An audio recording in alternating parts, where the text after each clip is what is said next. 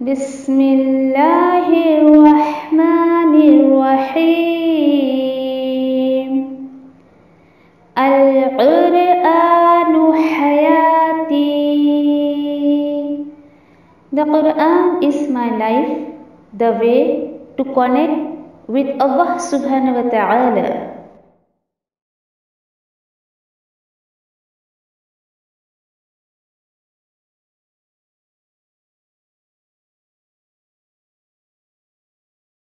ठीक है, अठारह सिपारे में इंशाल्लाह सूर्य नूर की तरफ़ रुख करते हैं। और बहुत खूबसूरत सूरत है, ये मदनी सूरत है। और स्पेशल जो ये जो है मतलब नाजिल की गई है कि हज़रत आयशा रज़ी तहा पर जो एक इल्ज़ाम लगाया गया था। और उसके अलावा अगर देखिए कि वाकई जो भी अहकाम सूरत में है ना, जो भी अहकाम जो भी अल्लाह ने ऑर्डर दिए हैं, जो डू डू एंड डोंट्स हैं, अगर कोई भी इंसान उसको अपनी ज़िंदगी में अप्लाई करे ना तो ज़िंदगी वाकई उसकी बहुत नूर वाली हो जाती है, बहुत ही ज़्यादा। और देखिए कि कुरान नाम ही है अंधेरों से नूर की तरफ़ आने का, कि जो इंसान कुरान को अपनी ज़िंदगी में ले आता है तो उसकी ज़िंदगी जो है अंधेरे से नूर की तरफ़ आ जाती है। और ये गजवा मुस्तलब के फ़ौर बाद नाजिल हुई है, जैसे कि इसकी जो है वो, इसे इसमें वाक़ इफ़ वाक़ इफ़ यानी एक झूठे इल्ज़ाम की तरफ़ जो है, उस ये वाक़ भी इसके अंदर इंशाल्लाह हम देखेंगे। और पर्दे का अहकाम भी जो है, वो इसी में है, इंशाल्लाह हम देखेंगे, ठीक है? और उसे भी देखिए, असल में पूरी सूरत का जो टॉपिक है ना, वो है कि जिना। एक समाज में जो जिना, रेप वगैरह जो होता है, कि उसको किस तरीके से हम रोकथाम उसकी कर सकते हैं, उसका बहुत ज़्यादा खुलासा इसमें किया गया है। फिर इसके बाद स्पेशली जैसे कि मैंने आपसे अभी कहा कि हज़रत आयशा रज़ी तला का वाक़ है कि जब ऐसा इल्ज़ाम लगता है किसी बेगुनाह औरत पर तो माहौल में किस कदर ख़राबी पैदा हो जाती है। फिर आगे देखिए कि आगे तक जो है आयते हैं जिन पर अमल करने से जो है सोसाइटी बिल्कुल साफ़ सुथरी हो जाती है। फिर इसमें हमें ये भी देखेंगे कि जिना किन बुराइयों से फैलता है, उसकी रोकथाम कैसे की जाए। इंशाल्लाह हम इस सूरत को इस सोच के साथ पढ़ेंगे कि अल्लाह ताला हमारे जहन को खोल दें और हमारे माशरे को, हमारे घर को, हमारे दिलों को जो है वो नूर से भर दे इन आमीन। और देखिए कि अल्लाह ताला एक एक करके, यानी अल्लाह के अल्लाह ताला से ऐसे दुआ करते हैं हम कि इंशाल्लाह एक एक आयतें जो है वो हमारे लिए अमल वाली बना दे, इंशाल्लाह। और और देखिए कि सूरत जो बहुत, उसका स्टार्टिंग ही बहुत ज़बरदस्त है, किस तरीके से इंशाल्लाह देखते हैं आयतों के साथ। आऊज़ु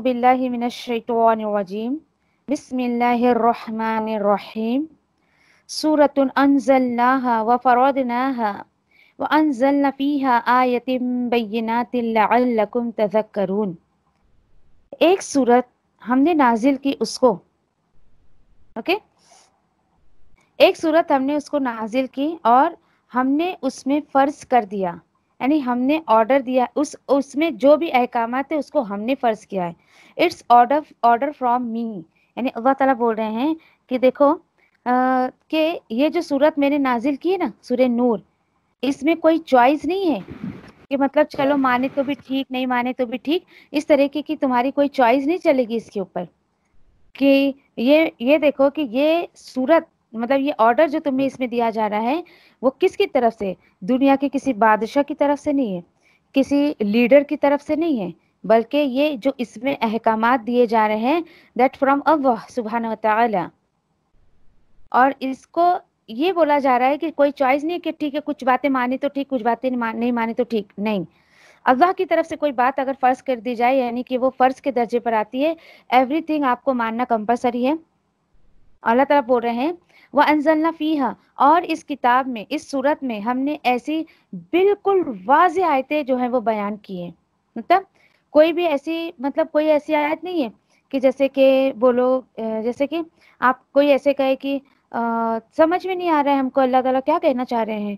अच्छा पर्दा है क्या नहीं है? चेहरे का पर्दा है कि नहीं? हाथ का पर्दा है कि नहीं? अच्छा फिर कितना पर्दा करे क्या करे? अल्लाह ताला बोल रहे कोई डाउट ही नहीं है इसके अंदर कि तुम्हें कोई बात समझ ना आए। और देखिए कि अक्सर मैंने ना देखा एक बार जैसे आपने भी सुनी होगी एक बार कि कुरान में कितनी सारी आयतें लोग उसका वजीफा करते हैं? सूर्य नूर का तो मैंने कभी किसी को वजीफा करते हुए नहीं देखा। देखिए शैतान जो है ना बहुत चालाक है वो। वजीफे पता है आपको कि, किन सूरतों की ऐसे शैतान सिफत जो लोग होते हैं ना वो आपको मक्की सूरतों की जो है ना ज़्यादातर जो है वजीफे करने बोलेंगे। हाँ ये पढ़ लो वो पढ़ लो ये हो जाएगा वो हो जाएगा। मदनी सूरत चूँकि बहुत ज़्यादा अहकाम से भरी भी होती है। इंसान के अपने अमल पर बहुत चोट पड़ती है मदनी सूरतों से। क्यों? क्योंकि डू एंड डोन्स बहुत ज़्यादा होते हैं मदनी सूरतों में। मक्का की सूरत तो बस ऐसी है, बस कुछ इतने अहकाम नहीं होते हैं उसके अंदर। अल्लाह ताला कुछ करने नहीं बोलते उसमें। जस्ट मक्की सूरतों में only information information that's it okay उसके बाद अब कुछ उसका टॉपिक कुछ ये शुरू हो रहा है नंबर दो में। अजानियत वजानी फल फजलिदु कुल्ल वाहिद मिनहुमा मिअत मिअत जल्द कि बदकार मर्द, यानी बदकार यानी जानी जो मर्द है ओके चाहे मर्द रेपिस्ट हो या औरत हो, जानिया कि उसने ऐसी बदकारी अगर की हो। तो बोल रहे हैं, फिर उसको कोड़े मारो, यानी हर एक को, मर्द को भी, दोनों में से हर एक को, यानी मर्द को भी सौ कोड़े मारो और औरत को भी सौ कोड़े मारो, हंटर जिसको कहा जाता है। देखिए जरा। अच्छा ये किसके लिए है? यहाँ पर एक चीज़ क्लियर नहीं की गई जो हदीस में है। अगर ये बदकारी करने वाले, गलत काम करने वाले मैरिड हैं तो उसमें आता है हदीस में कि उनको स्टोनिंग की जाएगी। सरेआम उनको पत्थर मारा जाएगा जब तक कि उनकी जान नहीं निकल जाती है। और ये सजा किसके लिए है? गैर शादीशुदा के लिए कि उनको सौ कोड़े मारो। सौ कोड़े भी पता है आपको जो मार रहा है ना, वो सामने वाले की ताकत के हिसाब से मारेगा, ना कि अपनी ताकत के हिसाब से मारेगा। अगर सामने वाले के अंदर इतनी ताकत नहीं है कि जैसे फॉर एग्ज़ाम्पल थोड़ा एजेड है, मारने वाला अपना हाथ इतना ऊपर नहीं कर सकता है कि उसके आर्म्स नज़र आए, उसके बगल नज़र आए, नहीं तो उल्टा ये जालिम हो जाएगा जो कोड़े मार रहा है, फिर इसको सजा मिलेगी। कितना अदल और इंसाफ वाला अल्लाह का दीन है, देखो जरा। और नहीं तुम तरस खाओ उन दोनों के बारे में, अल्लाह के दीन में। अल्लाह तला बोल रहे हैं, तुम लोगों को तरस नहीं आना चाहिए, होना क्या चाहिए? और मौजूद रहे ईमान वालों में से। यानी ऐसे लोग तुम्हारे बीच, तुम्हारे दरमियान ऐसे लोग वहाँ पर मौजूद रहे जो अल्लाह पर और आखिरत पर ईमान रखते हैं। देखिए जरा, और चाहिए कि वो सब क्या हो जाए? गवाह रहें उन दोनों की सजा के वक्त, एक ग्रुप ईमान वालों में से। यानी कोई कोने कोपचे में ले जाके इनको हंटर नहीं मारने का है? बल्कि सरेआम सबके सामने मानना है? क्यों? क्यों? कोई बोलेगा, ओहो, कितना सख्त सजा है इन लोगों के लिए। देखो देखो, दीन इस्लाम कितना जो है वो जालिम है। नहीं, जालिम नहीं है। दीन इस्लाम बहुत इंसाफ वाला दीन है। ऐसा अगर किया जाएगा तो बहुत पॉसिबिलिटी है कि बेहयाई समाज से खत्म हो जाए। अब उसके बाद देखिए। अजानी लायन की हो इल्लानिया जो बदकार मर्द होते हैं, नहीं वो निकाह करे मगर बदकार औरतों से ही करे, या मुशरक औरत से करे। देखिए जरा, मुशरक लोगों को किससे कंपेयर किया जा रहा है? बदकार लोगों से, गंदे लोगों से। और बदकार औरतें जो नहीं वो निकाह करे, बदकार ये, और बदकार औरतें जो हैं, नहीं वो जोड़े अपना नहीं वो निकाह करे मगर सिर्फ़ जानी, यानी बदकार मर्द से करे या मुशिक मर्द से करे? क्यों ऐसा? क्योंकि ये चीज़ें, यानी ऐसे लोग हराम कर दिए हैं मोमिनों पर, ईमान वालों पर।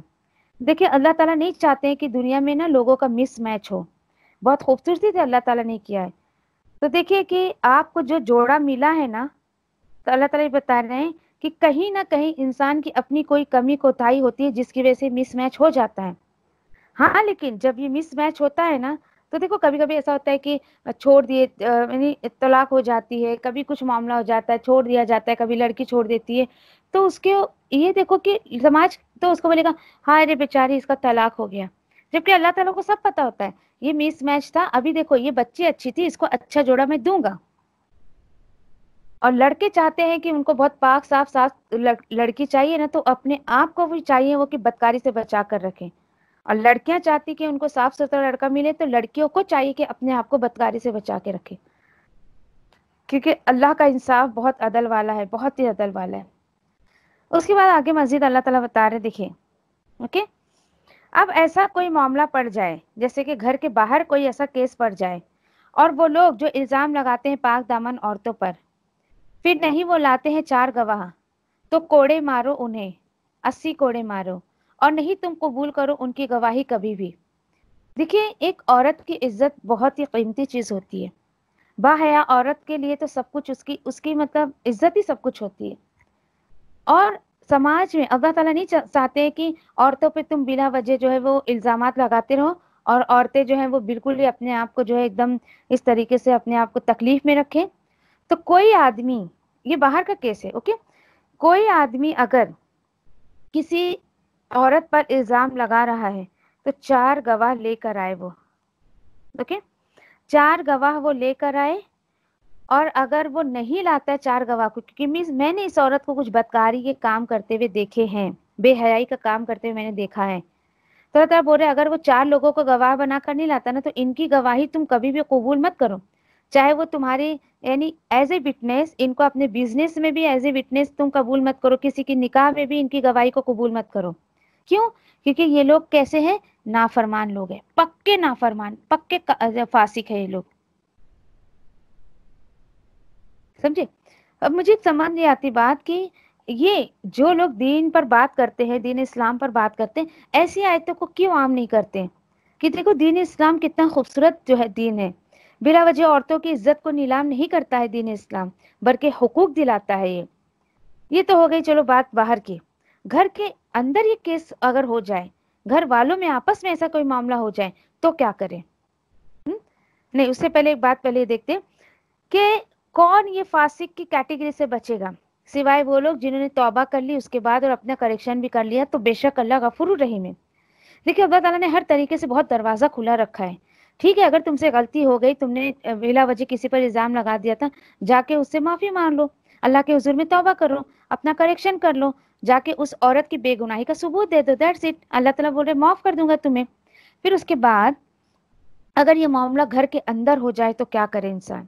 वल्लजीना यरमून अजवाजहुम वलम यकुल लहू शुहदा इल्ला अनफुसहुम और अगर कोई, कुछ लोग ऐसे हैं जो इल्ज़ाम लगाते हैं अपनी बीवियों पर, और नहीं होते हैं उनके पास कोई गवाह अपने अलावा।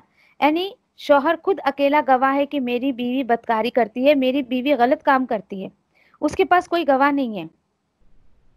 अब वो चाहता है कि ये मामला मेरे घर के बाहर भी ना जाए कि मेरी बीवी बदकारी के काम करती है। तो अल्लाह ताला ने इसका भी बहुत जो है इंतज़ाम किया है। अल्लाह ताला बोल रहे हैं तो फिर क्या करें? फिर इस मामले, इस तरह के मामले में, ओके? उनमें से हर एक, यानी पहले सबसे पहले जो है वो शोहर, चार बार गवाही देगा, अल्लाह की कसम खाकर जुमला सुनिए, वो क्या बोलेगा कि बेशक यकीनन, ओके, चार बार गवाही खाएगा कि अल्लाह की कसम, अल्लाह की कसम, अल्लाह की कसम कि बेशक वो, ठीक है, वो अपने इल्ज़ाम में बहुत सच्चा है। यानी जो वो और देखिए कि चार दफ़ा अल्लाह की कसम खाना कोई छोटी बात नहीं है, बहुत बड़ी बात है कसम खाई जा रही है। चार दफ़ा कसम खा के तो ये कहेगा, अल्लाह की कसम, मैं सच्चा हूँ, मैं सच्चा हूँ, मैंने जो इल्ज़ाम लगाया वो सच्चा है सच्चा है सच्चा है। पांचवी दफ़ा कसम खा के ये बोलेगा कि अल्लाह की लानत हो उस पर अगर वो झूठा है। यानी अपने खिलाफ गवाही देगा कि अल्लाह की लानत हो उस पर अगर वो झूठा है। सेम थिंग ऐसे ही कि अगर वो औरत अगर वो औरत बच सकती है, अगर के अल्लाह ताला बोल रहे हैं कि दूर हो सकती है बीवी की सजा अगर कि बीवी गवाही दे चार मरतबा अल्लाह की कसम खाकर कि बेशक मेरा शोहर झूठा है झूठा है झूठा है। पांचवी दफ़ा यह कसम खाए कि अल्लाह का गजब वो मुझ पर, यानी मुझ पर अगर मेरा शोहर सच्चा है। या रब्बी, अल्लाह ताला बोल रहे हैं, और अगर नहीं फजल होता तुम पर अल्लाह की रहमत नहीं होती, और हाँ और अगर नहीं होता अल्लाह का फजल तुम पर और उसकी रहमत नहीं होती तो बेशक अल्लाह ताला तो है तोबा कबूल करने वाला और रहम करने वाला। देखिए जरा, यहाँ अल्लाह के किस फजल को आप महसूस कर रही है? देखिए जरा, कि अल्लाह की तरफ़ अगर इंसान का इतना झुकाव ना होता ना तो यकीन करिए कि इंसान बहुत खसारे में जाता। और इंसान जो अल्लाह ताला ने बिल्कुल ऐसे बीवी के मामला में इल्ज़ाम में लोगों, अपने आप पे लोगों को बहुत मुश्किल पड़ जाती करे क्या? क्या करे? फिर अब इसका हल क्या निकलेगा पता है आपको? अगर अगर मर्द झूठा साबित हुआ तो फिर यानी अगर दोनों में से कोई एक भी मर्द झूठा साबित हुआ तो फिर देखो वो औरत जो है वो उसके साथ नहीं रह सकती, तलाक हो जाएगी उनकी। किस तरीके से? क्योंकि फिर अल्लाह ताला इजाज़त नहीं देते कि इस तरीके के मर्द के साथ वो औरत रहे। हाँ अगर औरत पे इल्ज़ाम साबित हो गया ना तो भी तलाक हो जाएगी, क्योंकि मर्द जो है, ऐसी बुरी औरत के साथ घर नहीं घर बसर नहीं कर सकता फिर। इस तरीके से इलायदगी हो जाएगी उनके अंदर, ख़त्म बात सारी। ना वेरी इंपॉर्टेंट है फ्रॉम इलेवन टू आगे तक हम पढ़ेंगे, आगे पूरा रुकू जो है, आगे कभी रुकू। इसको कहते हैं आयत इफ्क, अलिफ काफ, आयत इफ्क। ये वो आयते हैं कि जिसमें हज़रत आयशा रज़ी तु पर जो है वो इल्ज़ाम लगा था। नाउज बिल्ला सुम्मा नाउज बिल्ला जिना का इल्ज़ाम आयशा रज़ी तु पे लगा था। फिर यकीन करिए, आयते जब भी मैं लेती हूँ अपने स्टूडेंट्स का या पढ़ती हूँ ना, मेरा तो दिल अंदर से कांपते रहता है। मतलब मेरे को तो कुछ बोलने का दिल नहीं करता इसके ऊपर कि क्या वो लोग थे जिन्होंने नबी करीम वसल्लम की बीवी को नहीं छोड़ा, अबू बकर सिद्दीक रज़ी तला की बेटी को भी नहीं छोड़ा उन पर इल्ज़ाम लगाने के लिए। अल्लाह की पना अल्लाह थोड़ा थीम बता दो तो शायद आपको बात समझ आ जाए ओके कि देखिए, अक्सर क्या होता है पता है? कि अल्लाह ताला बता रहे हैं कि याद रखो, बाहर वाले ही ज़्यादा जो है ना, यानी बाहर वालों से तो इंसान को इतना नुकसान नहीं पहुँचता जितना घर के अंदर वालों से नुकसान पहुँचता है। बोलते ना, घर का बेदी लंका ढाए। ये हाल हो गया था अबू बकर सिद्दीक, हज़रत आयशा और नबी करीम वसल्लम के साथ। बाहर वालों को क्या पता होता है कि हमारे घर में क्या चल रहा है? जब तक घर वाले ही बात को ना उछालें। तो याद रखिए कि जहाँ इस्लाम का नुकसान पहुँचे ना, जहाँ तक, दीन इस्लाम को जहाँ तक भी नुकसान पहुँचा है ना, आप हिस्ट्री खोलकर देख लीजिए, अंदर वालों से ही पहुँचा है। तो क्या ज़रूरत है? ज़रूरत यहाँ पर यह कि अगर घर के अंदर वालों का अगर तजकिया ना हुआ रहे ना, आपस में दिल साफ़ ना रहे ना एक दूसरे से, ऐसा तो ऐसे बहुत सारे केसेस हो जाते हैं।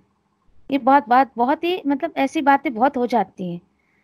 फिर देखिए कि और ऐसी सब बातें, सहाबा के ज़रिए लोगों को बहुत सारी जो है ऐसी खबरें मिलती रहती थी। फिर इसके बाद आगे देखिए कि हुआ क्या था। ये जो नबी करीम सल्लल्लाहु अलैहि वसल्लम के एक अजवाज मतहरात में से वो वो जौजा, जिसको सबसे ज़्यादा नबी करीम वसल्लम मोहब्बत करते थे, जिन्होंने भरी महफिल में अपनी मोहब्बत का इकरार भी किया था कि हाँ मैं सबसे ज़्यादा आयशा से मोहब्बत करता हूँ। एक तो कुंवारी थी, एक कुंवारी अकेली, ग्यारह बीवी में एक कुंवारी लड़की आप को मिली थी, दूसरा एक कम उम्र थी और अपने मतलब जहानत उनके अंदर बहुत थी शी इज़ वेरी टैलेंट ऐसे सब अखलाक की वजह से आप का दिल बहुत जीता था उन्होंने। तो याद रखिए कि दीन में, अल्लाह के रास्ते में अल्लाह ताला आपकी पसंदीदा चीज़ से ज़रूर, बस ज़रूर आपको आजमाइश में डालेंगे। उस गजबे से जो है नबी करीम वसल्लम का काफिला वापस आ रहा था और रास्ते में ऐसा हुआ कि काफिला जगह पे रुक रुक कर चलता था ना। तो ऐसी किसी को हाजत है, कुछ है तो ऐसे, इसी तरीके से ना आयशा रज़ी अनु जो है वो अपने मतलब फ्रेश होने के लिए गई और वो उस सफ़र में नबी करीम वसल्लम के साथ थी और अपनी बहन से एक हार वो लेकर आई थी कि मुझे पहन कर जाना है, वो हार कहीं उनके गले से गिर गया था। देखिए जरा, जंग पर गई अपने शोहर के साथ और हार पहन कर गई है। आज हमारा हाल क्या है? हम तो बिल्कुल यानी दीन को पता नहीं क्या समझ लेते हैं कि जेबो जीनत नहीं कर सकती दीनदार औरत। ऐसी कोई बात नहीं है। शोहर के लिए औरत कुछ भी कर सकती है, जेबो जीनत में जो शोहर को पसंद है, उसके हिसाब से वो कर सकती है। तो हुआ क्या हार खो गया अभी अब अपना हार ढूँढने में लगी? अब इतनी हल्की फुल्की थी, कुछ तेरह चौदह साल की उम्र में? इतनी मासूम सी कम कमसीन सी, बिल्कुल एकदम तेरह चौदह साल की उम्र में इतनी हल्की फुल्की थी कि जिस डोली में वो थी, लोगों ने उठाया तो पता भी नहीं चला इसमें वो बैठी हुई है या नहीं बैठी है। और लोग जो है वो डोली लेकर चले गए। उनको पता भी नहीं चला, आयशा रज़ी तला है भी नहीं अंदर। अब जब वो हाथ ढूंढती ढूंढती, आई आई, फिर उसके बाद उन्होंने देखा तो काफिला तो चला गया। अब अकलमंद तो थी बहुत। उन्होंने कहा, ठीक है, यहीं बैठ जाती कोई ढूंढेगा तो यहीं आके ढूंढ लेगा। कितनी समझदारी की बात देखिए तेरह चौदह साल में। आज हमारे बच्चों में इतनी समझ है, वावेला मचा देंगे सब जगह। हाय, मैं घूम गई घूम गई घूम गई। इसी तरीके से लोग हज में जाते हैं।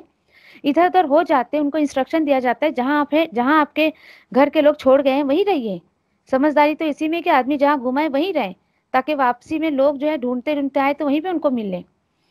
अब क्या हुआ कि सो गई वहाँ पे, रात हो गई, सो गई वो। एक साहबी है सफ़ान रज़ी तु उनकी ड्यूटी क्या थी? काफिले के सबसे पीछे वो रहते थे। और रास्ते भर जो है अगर किसी के सामान कुछ छूट गया है कुछ गिर गया है कुछ रह गया है तो उसको जमा करके लाके वापस काफिले की को देना ये उनकी ज़िम्मेदारी थी। इन्होंने देखा कि दूर कोई लेटा हुआ है चादर तान के। और जब वहाँ पहुँचे थे उन्होंने कहा कि इन लाही व इन्ना इलही राजेउन कोई मिली को, कोई भी चीज़ मिलती तो आदमी यही जो है खो जाती है कोई चीज़ तो यही पड़ता है। अब जैसे आयशा रज़ी तला ने किसी की आवाज़ सुनी तो वो बिल्कुल अपनी चादर हटाकर उड़ गई ऐसी। चूँकि ये पर्दे के बाद की थी बातें लेकिन जब पर्दे का हुक्म नहीं आया था तो आप की अजवास को सहाबा ने देखे सबको। इसलिए वो पहचान गए थे कि मतलब उन्होंने कहा कि इन व इन्ना राजीन ये तो आप वसल्लम की जौजा है। देखे थे इसलिए पहचान गए थे।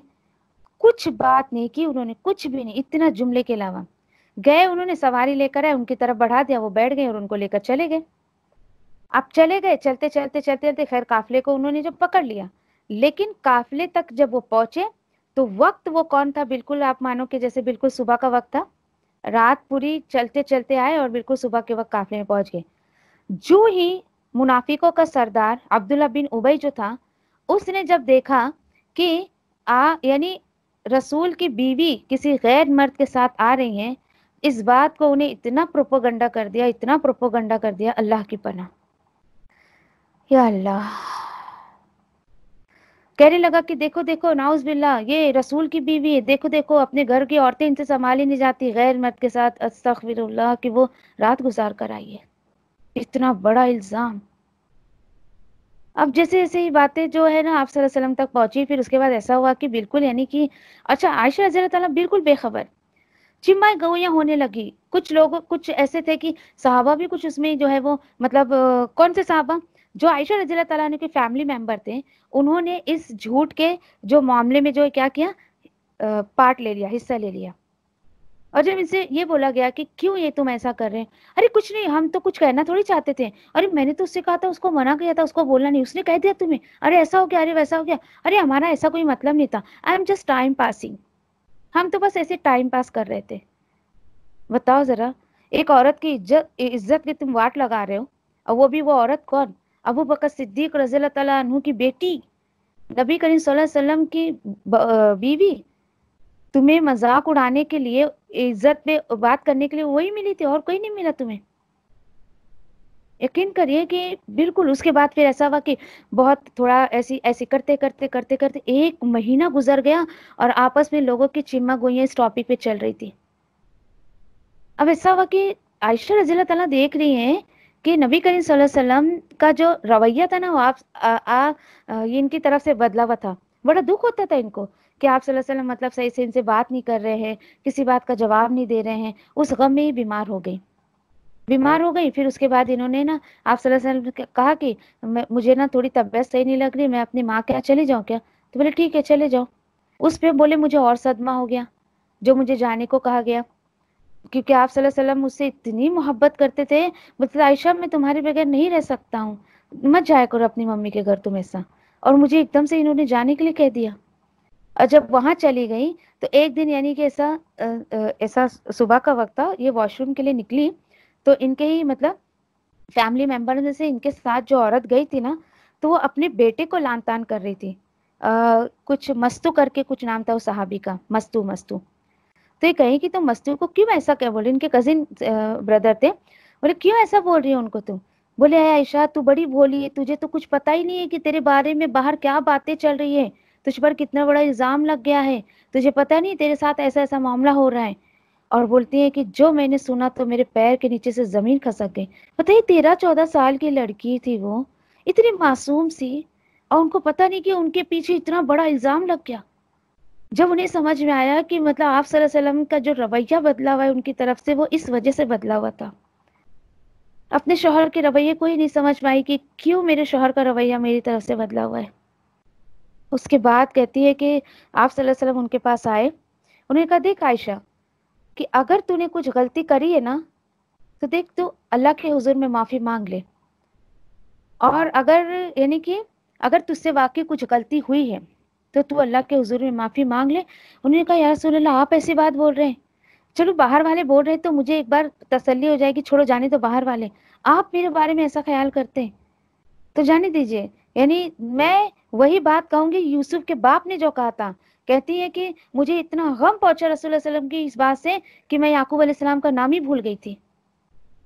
और उसके बाद फिर कहती है कि मैंने ये कहा था कि अब मेरी बेगुनाही का सबूत जो है ना, अल्लाह की तरफ़ से आपको मिलेगा। और ये कहते हुए फिर वो आप वसल्लम चले गए वहाँ से। उसके बाद जो है उसके बाद ये आयतें नाजिल हुई। नबी करीम वसल्लम उनके पास आए कि, ए आयशा, और आप वसल्लम के चेहरे पे उस वक्त जो खुशी थी, जो मैं मुस्कुराहट उनके चेहरे पे देख रही थी तो मुझे ये उम्मीद थी कि शायद मेरी, मेरे लिए कोई आयतें जो है इनके ऊपर वही आई है, इसकी वजह से इतने खुश है। उन्होंने कहा, आयशा, अल्लाह ने तेरी बेगुनाही का सबूत अपनी किताब में दे दिया। तो देखिए कि अपने आप को जब इंसान पाक साफ़ रहता है ना तो वाकई अल्लाह ताला कहीं ना कहीं से उसका सबूत दे देते हैं। बोले, आयशा, तेरी बेगुनाही का सबूत अल्लाह ने दे दिया। आयशा रज़ी अल्लाह कहती है कि मतलब मैं इतनी खुश नसीब है कि मुझे पता नहीं था कि अल्लाह ताला मेरे ऊपर दस आयतें उतार देंगे कुरान में जिसे ता कयामत लोग पढ़ेंगे और ता कयामत मेरी गुनाही, बेगुनाही का सबूत लोगों को मिल गया है। और उनकी अम्मी ने अबू ने कहा कि, शुक्र अदा कर आप वसल्लम का। बोले, मैं इनका शुक्र अदा क्यों करूँ? मैं तो उस अल्लाह का शुक्र अदा करूँगी कि जिसने मेरी बेगुनाही का सबूत अपनी किताब में दे दिया है। अल्हम्दुलिल्लाह। नहीं, देखिए कि जब ये ऐसे लोग, दीन से फिरे हुए लोग, दीन के दुश्मन जो होते हैं, जब वो इतने पाक, साफ़ और इतनी मासूम से हज़रत आयशा रज़ी तला को नहीं छोड़ सकते हैं तो आप और मैं क्या चीज़ है? दीन पे इंसान आता है यकीन करिए उससे बहुत सारे जो, उसको रुकावट बनने के लिए बहुत सारे इल्ज़ाम लगाते हैं लोग। लेकिन आपको दीन से हटना नहीं है। इन चीज़ों को जो बिल्कुल भी अपनी कमज़ोरी नहीं बनाना है। ये देखिए कि अल्लाह ताला आप वसल्लम के जैसे सबर जो है, आपके, मेरे, सबके शोहर को अल्लाह ताला ये सबर दें। इतना सब सुनने के बाद आकर आप हज़रत आयशा रज़ी ताला से कोई बहस नहीं की उन्होंने? कि आयशा तूने ये किया, वो किया वो किया? कुछ भी नहीं, कुछ भी नहीं। कितना सबर था नबी करीम वसल्लम के अंदर। देखिए, अक्सर दीनदार जो होते ना, अल्लाह के रास्ते पे जो चलते ना, उनकी कमज़ोरी को लोग जो है ना क्या बोलते हैं? वीक पॉइंट समझकर उसी पर वार करते हैं। क्यों? ताकि ये गम में डूब जाए और इनके दीन की सारी वाट लग जाए। इनके दीन का काम हो ही ना, रुक जाए। लेकिन अल्लाह को जिससे काम लेना है तो वो काम कोई नहीं रोक सकता है। कोई नहीं रोक सकते अल्लाह अकबर। आयतों के हिसाब से देखते हैं इंशाल्लाह। आयत नंबर 11 से देखिए आप, आगे जो है पूरी आयतें होंगी। अल्लाह ताला बता रहे हैं नबी करीम वसल्लम को, बेशक वो लोग जो लाए थे, एक मन घड़क बात लेकर आए थे। आपको पता है, वो आपके अंदर का ही एक टोला था। वो आपके अंदर का ही एक टोला था, जो ये बातें घड़ रहे थे आयशा रज़ी तला के ताल्लुक से। कोई बात नहीं। ला सबू शर्र लकुम। तुम इसको, इस वाक्य को अपने लिए बुरा मत समझो, बल्कि इसमें खैर है तुम्हारे लिए। क्या खैर थी पता है आपको? एक तो ये खैर कि अल्लाह ताला ने उनकी बेगुनाही का सबूत खुद खुद आयतों के ज़रिए दिया। दूसरा ये कि ठीक है, बज़ाहिर तो ऐसा लग रहा था कि क्या हो गया, क्या हो गया? वालिद को लग रहा था मेरी बेटी के साथ क्या हो गया? शोहर को लग रहा था मेरी बीवी के साथ क्या हो गया? आयशा रज़ी तला को लग रहा था, बताओ मैंने तो कुछ किया नहीं बिला वजह पीसी जा रही सारी चीज़ों में मैं, इस तरीके से। तो ये था। खैर ये थी कि ऐसे लोगों का खुलासा हो गया ना कि तुम्हारा अपना कौन है और पराया कौन है। कौन लोग हैं जो तुम्हारे काम से खुश हैं और कौन लोग हैं जो तुम्हारे काम से खुश नहीं है? कभी कभी अल्लाह ताला देखिए ऐसे मामला करते हैं हमारे साथ। बज़ाहिर तो बड़ा दिल दुखता है। अंदर से बंदा टूट जाता है। ऐसा लगता है कि ज़िंदगी खत्म हो गई उसकी। लेकिन अल्लाह ताला बोल रहे नहीं, कुछ ना कुछ खैर में निकालूँगा। क्यों परेशान हो रहे? तो ऐसी आयतों से देखिए बहुत तसल्ली मिलती है। अगर हमारी ज़िंदगी में कुछ ऐसे मामला हो गए कि दीन पे रहने की वजह से आपको कुछ परेशानियों का सामना अगर करना पड़ा है तो अल्लाह ताला कहीं ना कहीं उस उस शर में से आपके लिए खैर निकालेंगे, लेकिन बस आपको सब्र करना पड़ेगा और कुछ नहीं। अल्लाह ताला बोल रहे हैं कि ठीक है ठीक है, अगर कुछ लोगों ने ऐसा मामला किया लिकुल मिन हो हर शख्स के लिए उसमें से जो उसने चर्चा किया था ना, ये मन घड़क बातें, ये गुनाह की बातें जो की थी ना, अल्लाह ताला बोल रहे हैं कि डेफिनेटली उसमें से उसको हिस्सा मिलकर रहेगा।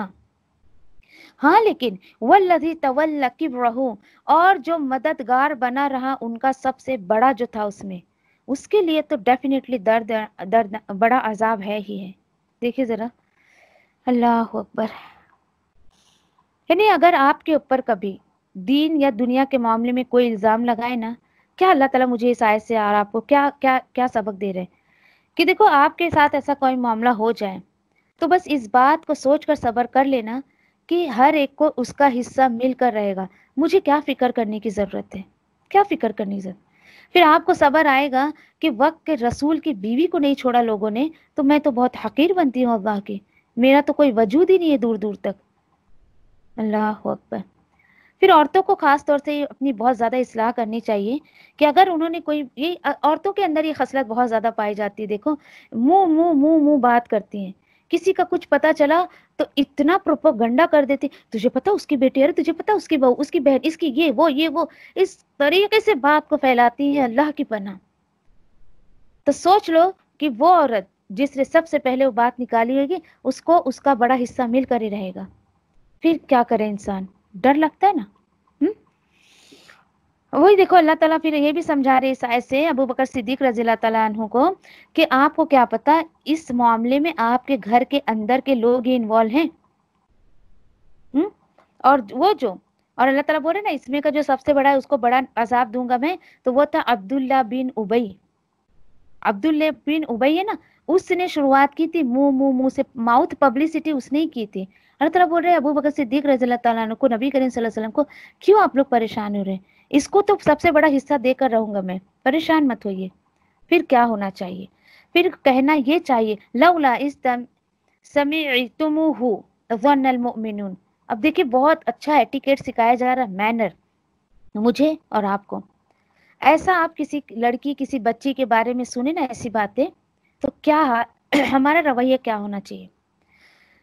अल्लाह ताला बोल रहे हैं, ऐसा क्यों नहीं हुआ कि जब तुमने उस बात को सुने तो मोमिन मर्द और मोमिन औरतें ऐसा क्यों नहीं सोची अपने आप में?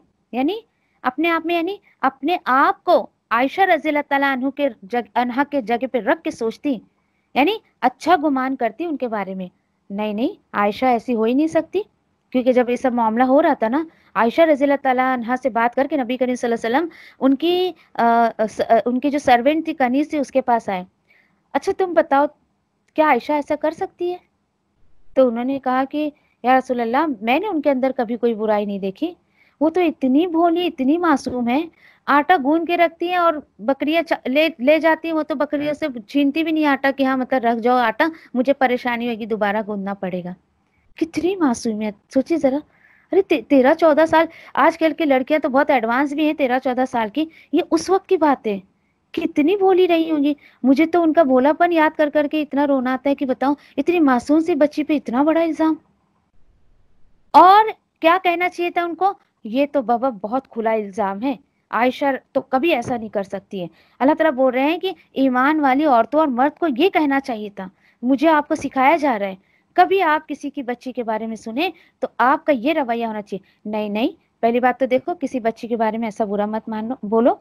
मेरे सामने अगर कोई बात करता है तो मैं सीधी, सीधा, क्या तुम्हारे घर में बच्चियाँ नहीं है क्या? अल्लाह ना करिए बातें तुम्हारे ऊपर पलट के आ जाए तो। यकीन करिए अगले, अगला बंदा काँप जाता है बिल्कुल एकदम। जब अपने बच्चे की बात पढ़ते हैं ना इंसान को तो अकल ठिकाने आती है अच्छे से उसको। कभी भी किसी बच्चियों के बारे में बुरा मत बोलो। ठीक है, वो जो करती है, उनका मामला छोड़ दो उनके ऊपर। आप अपनी जबान क्यों खराब करते हो किसी बच्ची के बारे में कुछ ही बोलकर? और देखिए, एक इज़्ज़त का, ये यकीन करिए, बहुत बड़ा इल्ज़ाम होता है ये। बगैर किसी सबूत के, किसी पर इतना बड़ा, और आजकल ये कितना आम है, उस, वो लड़की, उस लड़के के साथ अफेयर, उसके साथ ऐसा है, ये हुए भाग गई, ये करी, वो करी। आपको इन सब चीज़ों से क्या फ़ायदा मिल रहा है? It's a only waste of time. तो अपनी जबान को लगाम दीजिए, अपनी जबान को काबू में रखिए, किसी भी बच्चे के बारे में कभी कुछ गलत मत बोलिए। क्योंकि बच्चों की जो है इज़्ज़त, औरतों की इज़्ज़त बहुत वैल्यूएबल है। अल्लाह की नज़र में इतनी वैल्यू इंसान औरतों की इज़्ज़त को तार तार करता है। एक औरत ही एक औरत की इज़्ज़त को तार तार करती मर्द को छोड़ ही दीजिए आप। मर्द क्या करेगा? कुछ नहीं, वो ये सब फालतू चक्कर में पड़ते भी नहीं है। किसकी बीवी क्या कर रही किसकी बहन क्या कर रही आई क्या, गई क्या, कुछ नहीं। औरतें ही औरतों के ताक में पड़ी भी रहती हैं। मजीद अल्लाह ताला और मैनर सिखा रहे हैं, क्यों नहीं वो लाए इस पर गवाचार? शुरू में बता दिया। अगर अब्दुल्ला बिन उबई इतना बड़ा इल्ज़ाम रसूल की बीवी पर लगा रहे थे सल्लल्लाहु अलैहि वसल्लम तो उबई को अब्दुल्ला बिन उबई को क्या होना चाहिए था? कि चार गवाह लेके आता ना? फिर जब वो ना लाए गवाह उस पर तो उस पर तो अल्लाह के नज़दीक यही लोग झूठे। खत्म बात सारी।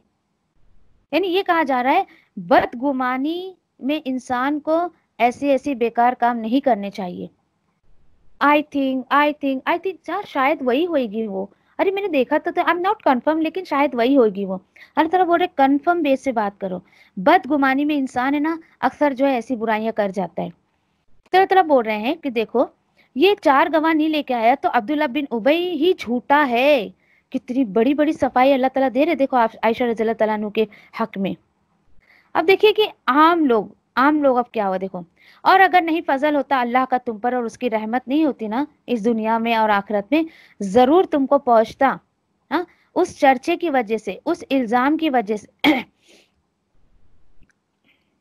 ओके तो तुम्हें भी जो है, दर्दनाक अजाब में से कुछ ना कुछ हिस्सा तो तुम्हें भी पहुँच जाता अल्लाह का कितना बड़ा एहसान है कि उस वक्त कुछ सहाबा ने जो उसमें उसमें मतलब इन्वॉल्व हो गए थे, कुछ हिस्सा उन्होंने भी ले लिया था। अल्लाह तला बोल रहे अगर मेरा फजल नहीं होता ना तो बड़े अजाब में से तुमको कुछ ना कुछ मिलता ज़रूर उसमें से।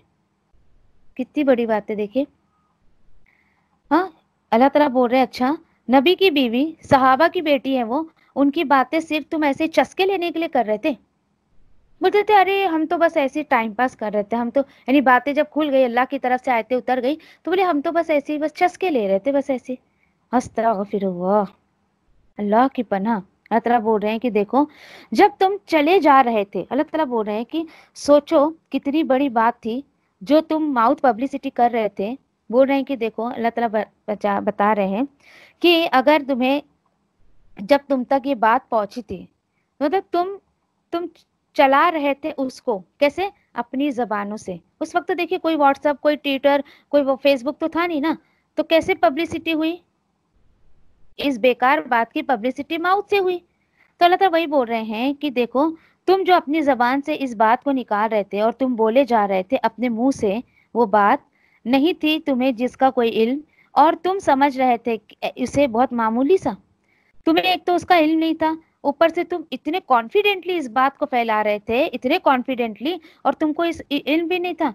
तो तुम्हें जब इल्म नहीं था तो इतना कॉन्फिडेंटली बात करने की क्या ज़रूरत थी तुम्हें तुम्हें? और तुम्हें पता नहीं, वह हुआ इन अतीम अल्लाह के नज़दीक वो बहुत बड़ी बात थी, बहुत बड़ी बात थी अल्लाह के नज़दीक। ओके, एक मैनर यहाँ पे क्या सिखाया जा रहा है? हा? कि देखो, कि ठीक है, सारे लोग ऐसा काम कर रहे थे। अब मेरे और आपके लिए इसमें अमल की बात क्या है?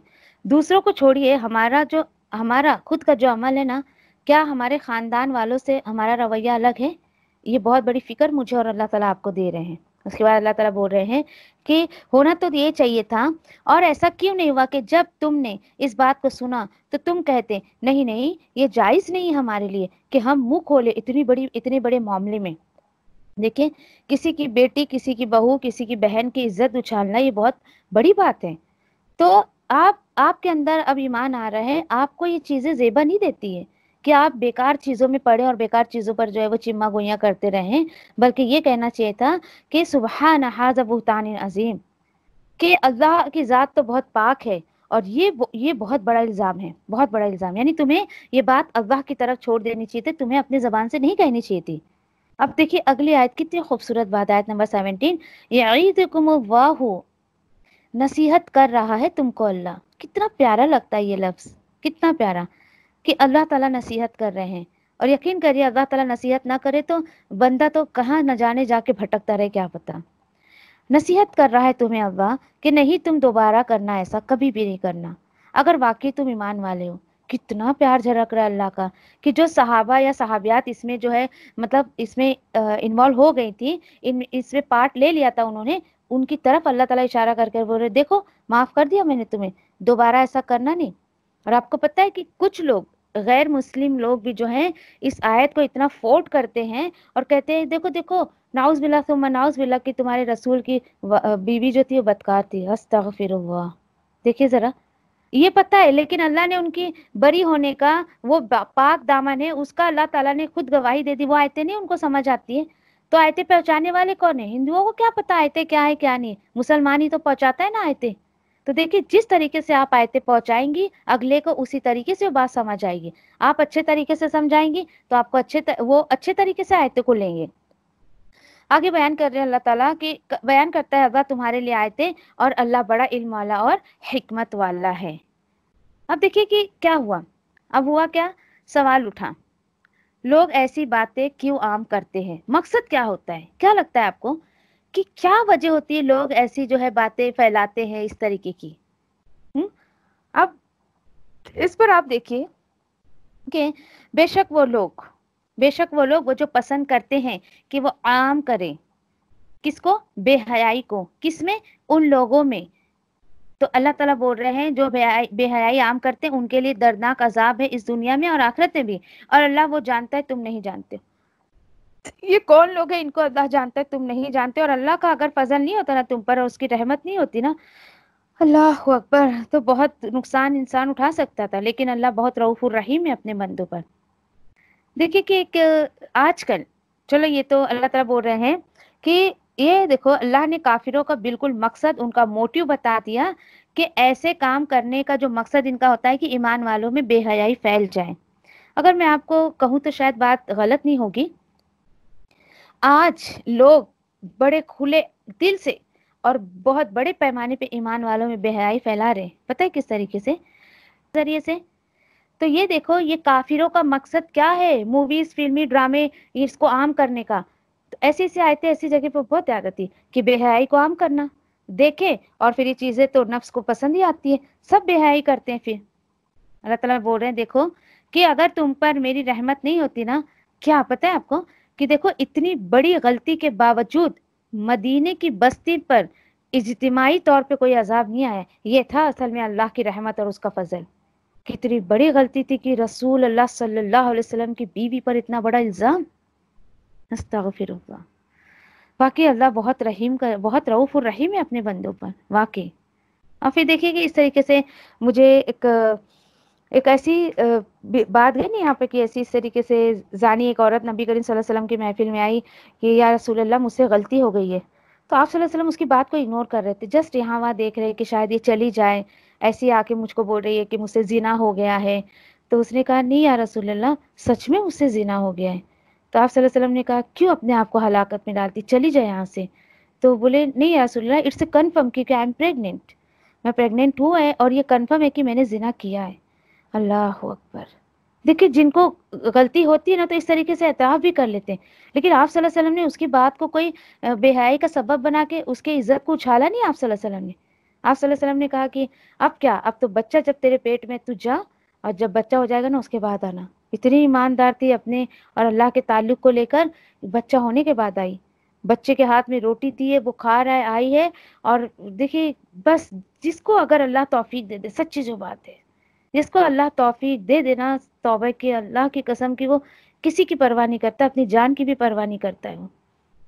तो फिर बस आप वसल्लम अपने वादे के पक्के थे, बच्चे को उससे लिया गया और इसको स्टोनिंग करके मार दिया गया। अल्लाह अकबर। मार दिया गया। और जब उसको मार रहे थे तो पूरा ऐसा है कि पत्थर मारते रहो, जब तक उसकी जान नहीं निकल जाती, चाहे वो फिर कहाँ से खून बहे, कुछ भी हो, फिर तरस नहीं खाना ईमान वाले को बिल्कुल। और उसका खून जो है वो, उसी भीड़ भाड़ में एक आदमी के ऊपर उसे छीटे आगे खून के तो बोली, बड़ी गंदी औरत थी जाते जाते मुझे भी गंदा कर गई। नबी करीम वसल्लम के कानों में बात पड़ी, आप वसल्लम ने कहा, वो गंदी नहीं थी, असल में तुम गंदे हो। तुम कंधे हो। और ये तो जाते जाते अपने तौबा के, तौबा का जो इसने एतराफ़ किया तो ये देखो कि अल्लाह ताला ने चालीस लोगों के गुनाह माफ़ कर दिए। ये होती है सच्चाई। और ये कि, ये देखो कि अगर उसको स्टोनिंग नहीं की जाती तो मामला अंदर अंदर रफा दफ़ा कर दिया जा सकता था। लेकिन उसको खौफ था। खौफ था उसको कि मैंने कोई बदकारी की है। अल्लाह अकबर। फिर उसके बाद देखिए, आगे मजीद अल्लाह ताला बता रहे हैं कि देखो, जो लोग अल्लाह के हुक्म के खिलाफ जब फैसले करते हैं ना तो दरअसल वो शैतान के तरीके पर चलते किस तरीके से? अल्लाह ताला बोल रहे या खुतवात शैतान। कि ए ईमान वालो, तुम देखो, शैतान के कदमों की पैरवी नहीं करना। और जो भी इतवा करेगा ना शैतान के कदमों की, फिर बेशक शैतान तो उभारता है, आमादा करता है बेहाई की कामों पर और बुरी बातों पर। और अल्लाह का अगर तुम पर फजल नहीं होता, उसकी रहमत नहीं होती तो नहीं नहीं पाक रह सकते थे तुम में से कभी कोई भी। और लेकिन अल्लाह पाक करता है जिसे वो चाहता है। अल्लाह समीउल अलीम है। देखिए, कितनी बड़ी बात बताई गई है। शायद आपको और मुझे बहुत सारी कुछ अमल की बात मिले यहाँ से। अल्लाह तला बता रहे हैं कि ऐसी कोई बातें अगर तुम कभी किस, किसी के बारे में सुनो ना, उसके साथ इंटरफेयर करने के बजाय, उसके साथ इन्वॉल्व होने के बजाय आप ये कहो मिनश कभी किसी के किरदार पे शक हो, दिल में किसी के लिए बुरा ख्याल आए, फ़ौरन बोल दो मिनश अगर आपने उसकी बात में हिस्सा ले लिया that means you are involving with हर और अगर आपने नहीं लिया आपने ये कह दिया आऊज बिल्लाहि रजीम। दैट मीन्स आपने मेन डोर को ही बंद कर दिया। मतलब आपने अगले के लिए अपने दिल में बुराई लाने ही नहीं दिए मेन डोर ही आपने बंद कर दिया। जब कोई आपके दिल में बुराई आएगी नहीं तो फिर अच्छी बात है ये। It's plus point for you देखिए, अल्लाह ताला से दुआ करिए, अल्लाह ताला तुम मेरे अंदर को पाक कर दे, क्योंकि अल्लाह ताला बोले मैं जिससे पाक करता हूँ, ना वही पाक रहता है, कोई भी अपने आप को पाक साफ़ ना समझे। इंसान गुनाहों का पुतला है, खताओं का पुतला है। दुआ करिए, अल्लाह तुम मेरे अंदर को पाक कर दे, अंदर को पाक कर दे। फिर उसके बाद आयत नंबर ट्वेंटी टू में, हज़रत अबू बकर सिद्दीक रज़ी तला की एक देखिए नेचुरल थिंक थी थिंकिंग उनकी, फितरी सोच एकदम। क्या हुआ था? बता रहे अल्लाह ताला, वलैया वला या तली उल फजल, और ना हाथ रोके, तुम में से फजल वाला और उसत वाला जो है। इस बात से हाथ ना रोके कि वो देते रहेंगे करीब वालों को, गरीबों को और हिजरत करने वालों को, अल्लाह के रास्ते में जो लोग हिजरत करते हैं उनको। क्या होता पता है? ये जो मतलब मैटर हुआ था ना अबू बकर सिद्दीक रज़ी की बेटी हज़रत आयशा रज़ी का, इसमें जो इनके ही फैमिली मेंबर से दो तीन लोगों ने हिस्सा ले लिया था। और फिर इन्होंने, देखिए, कोई भी होगा, कोई भी बाप होगा, उसकी बेटी पे जीना इतना बड़ा इल्ज़ाम कोई लगा देगा। और इसमें से मतलब ये जो सहाबा थे ना, असल में इनकी टेक कैरियर में थे। अबू बकर सिद्दीक रज़ी तु इनको मतलब सारा खर्चा पानी इनका उठाते थे। सारी ज़रूरियात का इनका जो है वो, बहुत ज़्यादा जो है वो ख्याल रखते थे। और ऐसे कोई शख्स आपकी बेटी पे इल्ज़ाम लगाते तो क्या आपका दिल दुखेगा नहीं उनकी तरफ़ से? दुखेगा ना? इट्स ए नेचुरल थिंग इंसान थे वो भी। इंसान थे ना। तो बस वो एक इरादा कर बैठे, अब मैं इन लोगों को खर्चा पानी नहीं दूँगा, इनको ना अपने घर में रखूँगा, कुछ भी था। देखिए, ठीक है एज ए फादर उन्होंने सही सोचा था, लेकिन अल्लाह की नज़र में जो उनका रुतबा था ना, सिद्दीकियत का रुतबा था, ये उनको सूट नहीं कर रहा था कि वो ऐसी बात कहें कि मैं अपना हाथ रोक लेता हूँ, अब मैं तुम्हें खर्चा पानी नहीं दूँगा। तो अल्लाह ताला ने बस उनकी इसलाह कर दी। नहीं नहीं, अबू बकर सिद्दीक, ये बात आपको बिल्कुल सूट नहीं करती। डोंट डू दिस ऐसा मत करिए आप। क्या आप अपना हाथ रोक लेंगे करीब वालों को देने से? ये सब इनके रिश्तेदार थे मतलब वो मुहाजिर भी थे, गरीब भी थे और रिश्तेदार भी थे। यानी तीनों क्वालिटी उनके अंदर थी, इसलिए अल्लाह ताला ने तीनों चीज़ का यहाँ तस्करा कर दिया है। कितनी प्यारी, ये आयत मुझे इतनी खूबसूरत लगती है ना। फिर क्या करे वो? क्या करे? दिल तो दुखा हुआ अल्लाह ताला बोले, जस्ट माफ़ कर दो उनको, दरगुजर करो उनको। सोचिए कितना बड़े जिगर का काम है ये। कितना बड़ा एक, यानी इंसान में जब उसका कैरेक्टर हाई लेवल पे होगा, जब जाके कहीं वो काम कर सकेगा। अल्लाह ताला बोले, माफ़ कर दो, दरगुजर करो ना। अच्छा एक बात बताओ अल्लाह तो हिब्बू ना अय्या फिर अल्लाहकुम क्या तुम पसंद नहीं करते हो कि अल्लाह तुम्हें भी माफ़ कर दे? अबू बकर सिद्दीक रज़ी तला ने कहा था कि हाँ अल्लाह, मैं चाहता हूँ कि तुम मुझे माफ़ कर दे। मैं चाहता हूँ कि तू मुझे माफ़ कर दे। देखिए अल्लाह ताला आपसे भी पूछे मुझसे भी पूछे। होता है ज़िंदगी में ऐसा कि कोई कुछ लोग बहुत हमारा दिल दुखाए रहते बहुत ज़्यादा इतना दिल दुखाए रहते कि आप चाहते भी, भी उनको माफ़ नहीं कर पाते हो। देखिए सख्त सख्त दिल वाला भी इंसान होगा ना उससे अल्लाह ताला इतने प्यार से पूछ रहे इतने प्यार से। क्या तुम नहीं चाहते कि मैं तुम्हें माफ़ कर दू तुम्हारी गुनाहों पे तुम्हारी खताओं पे?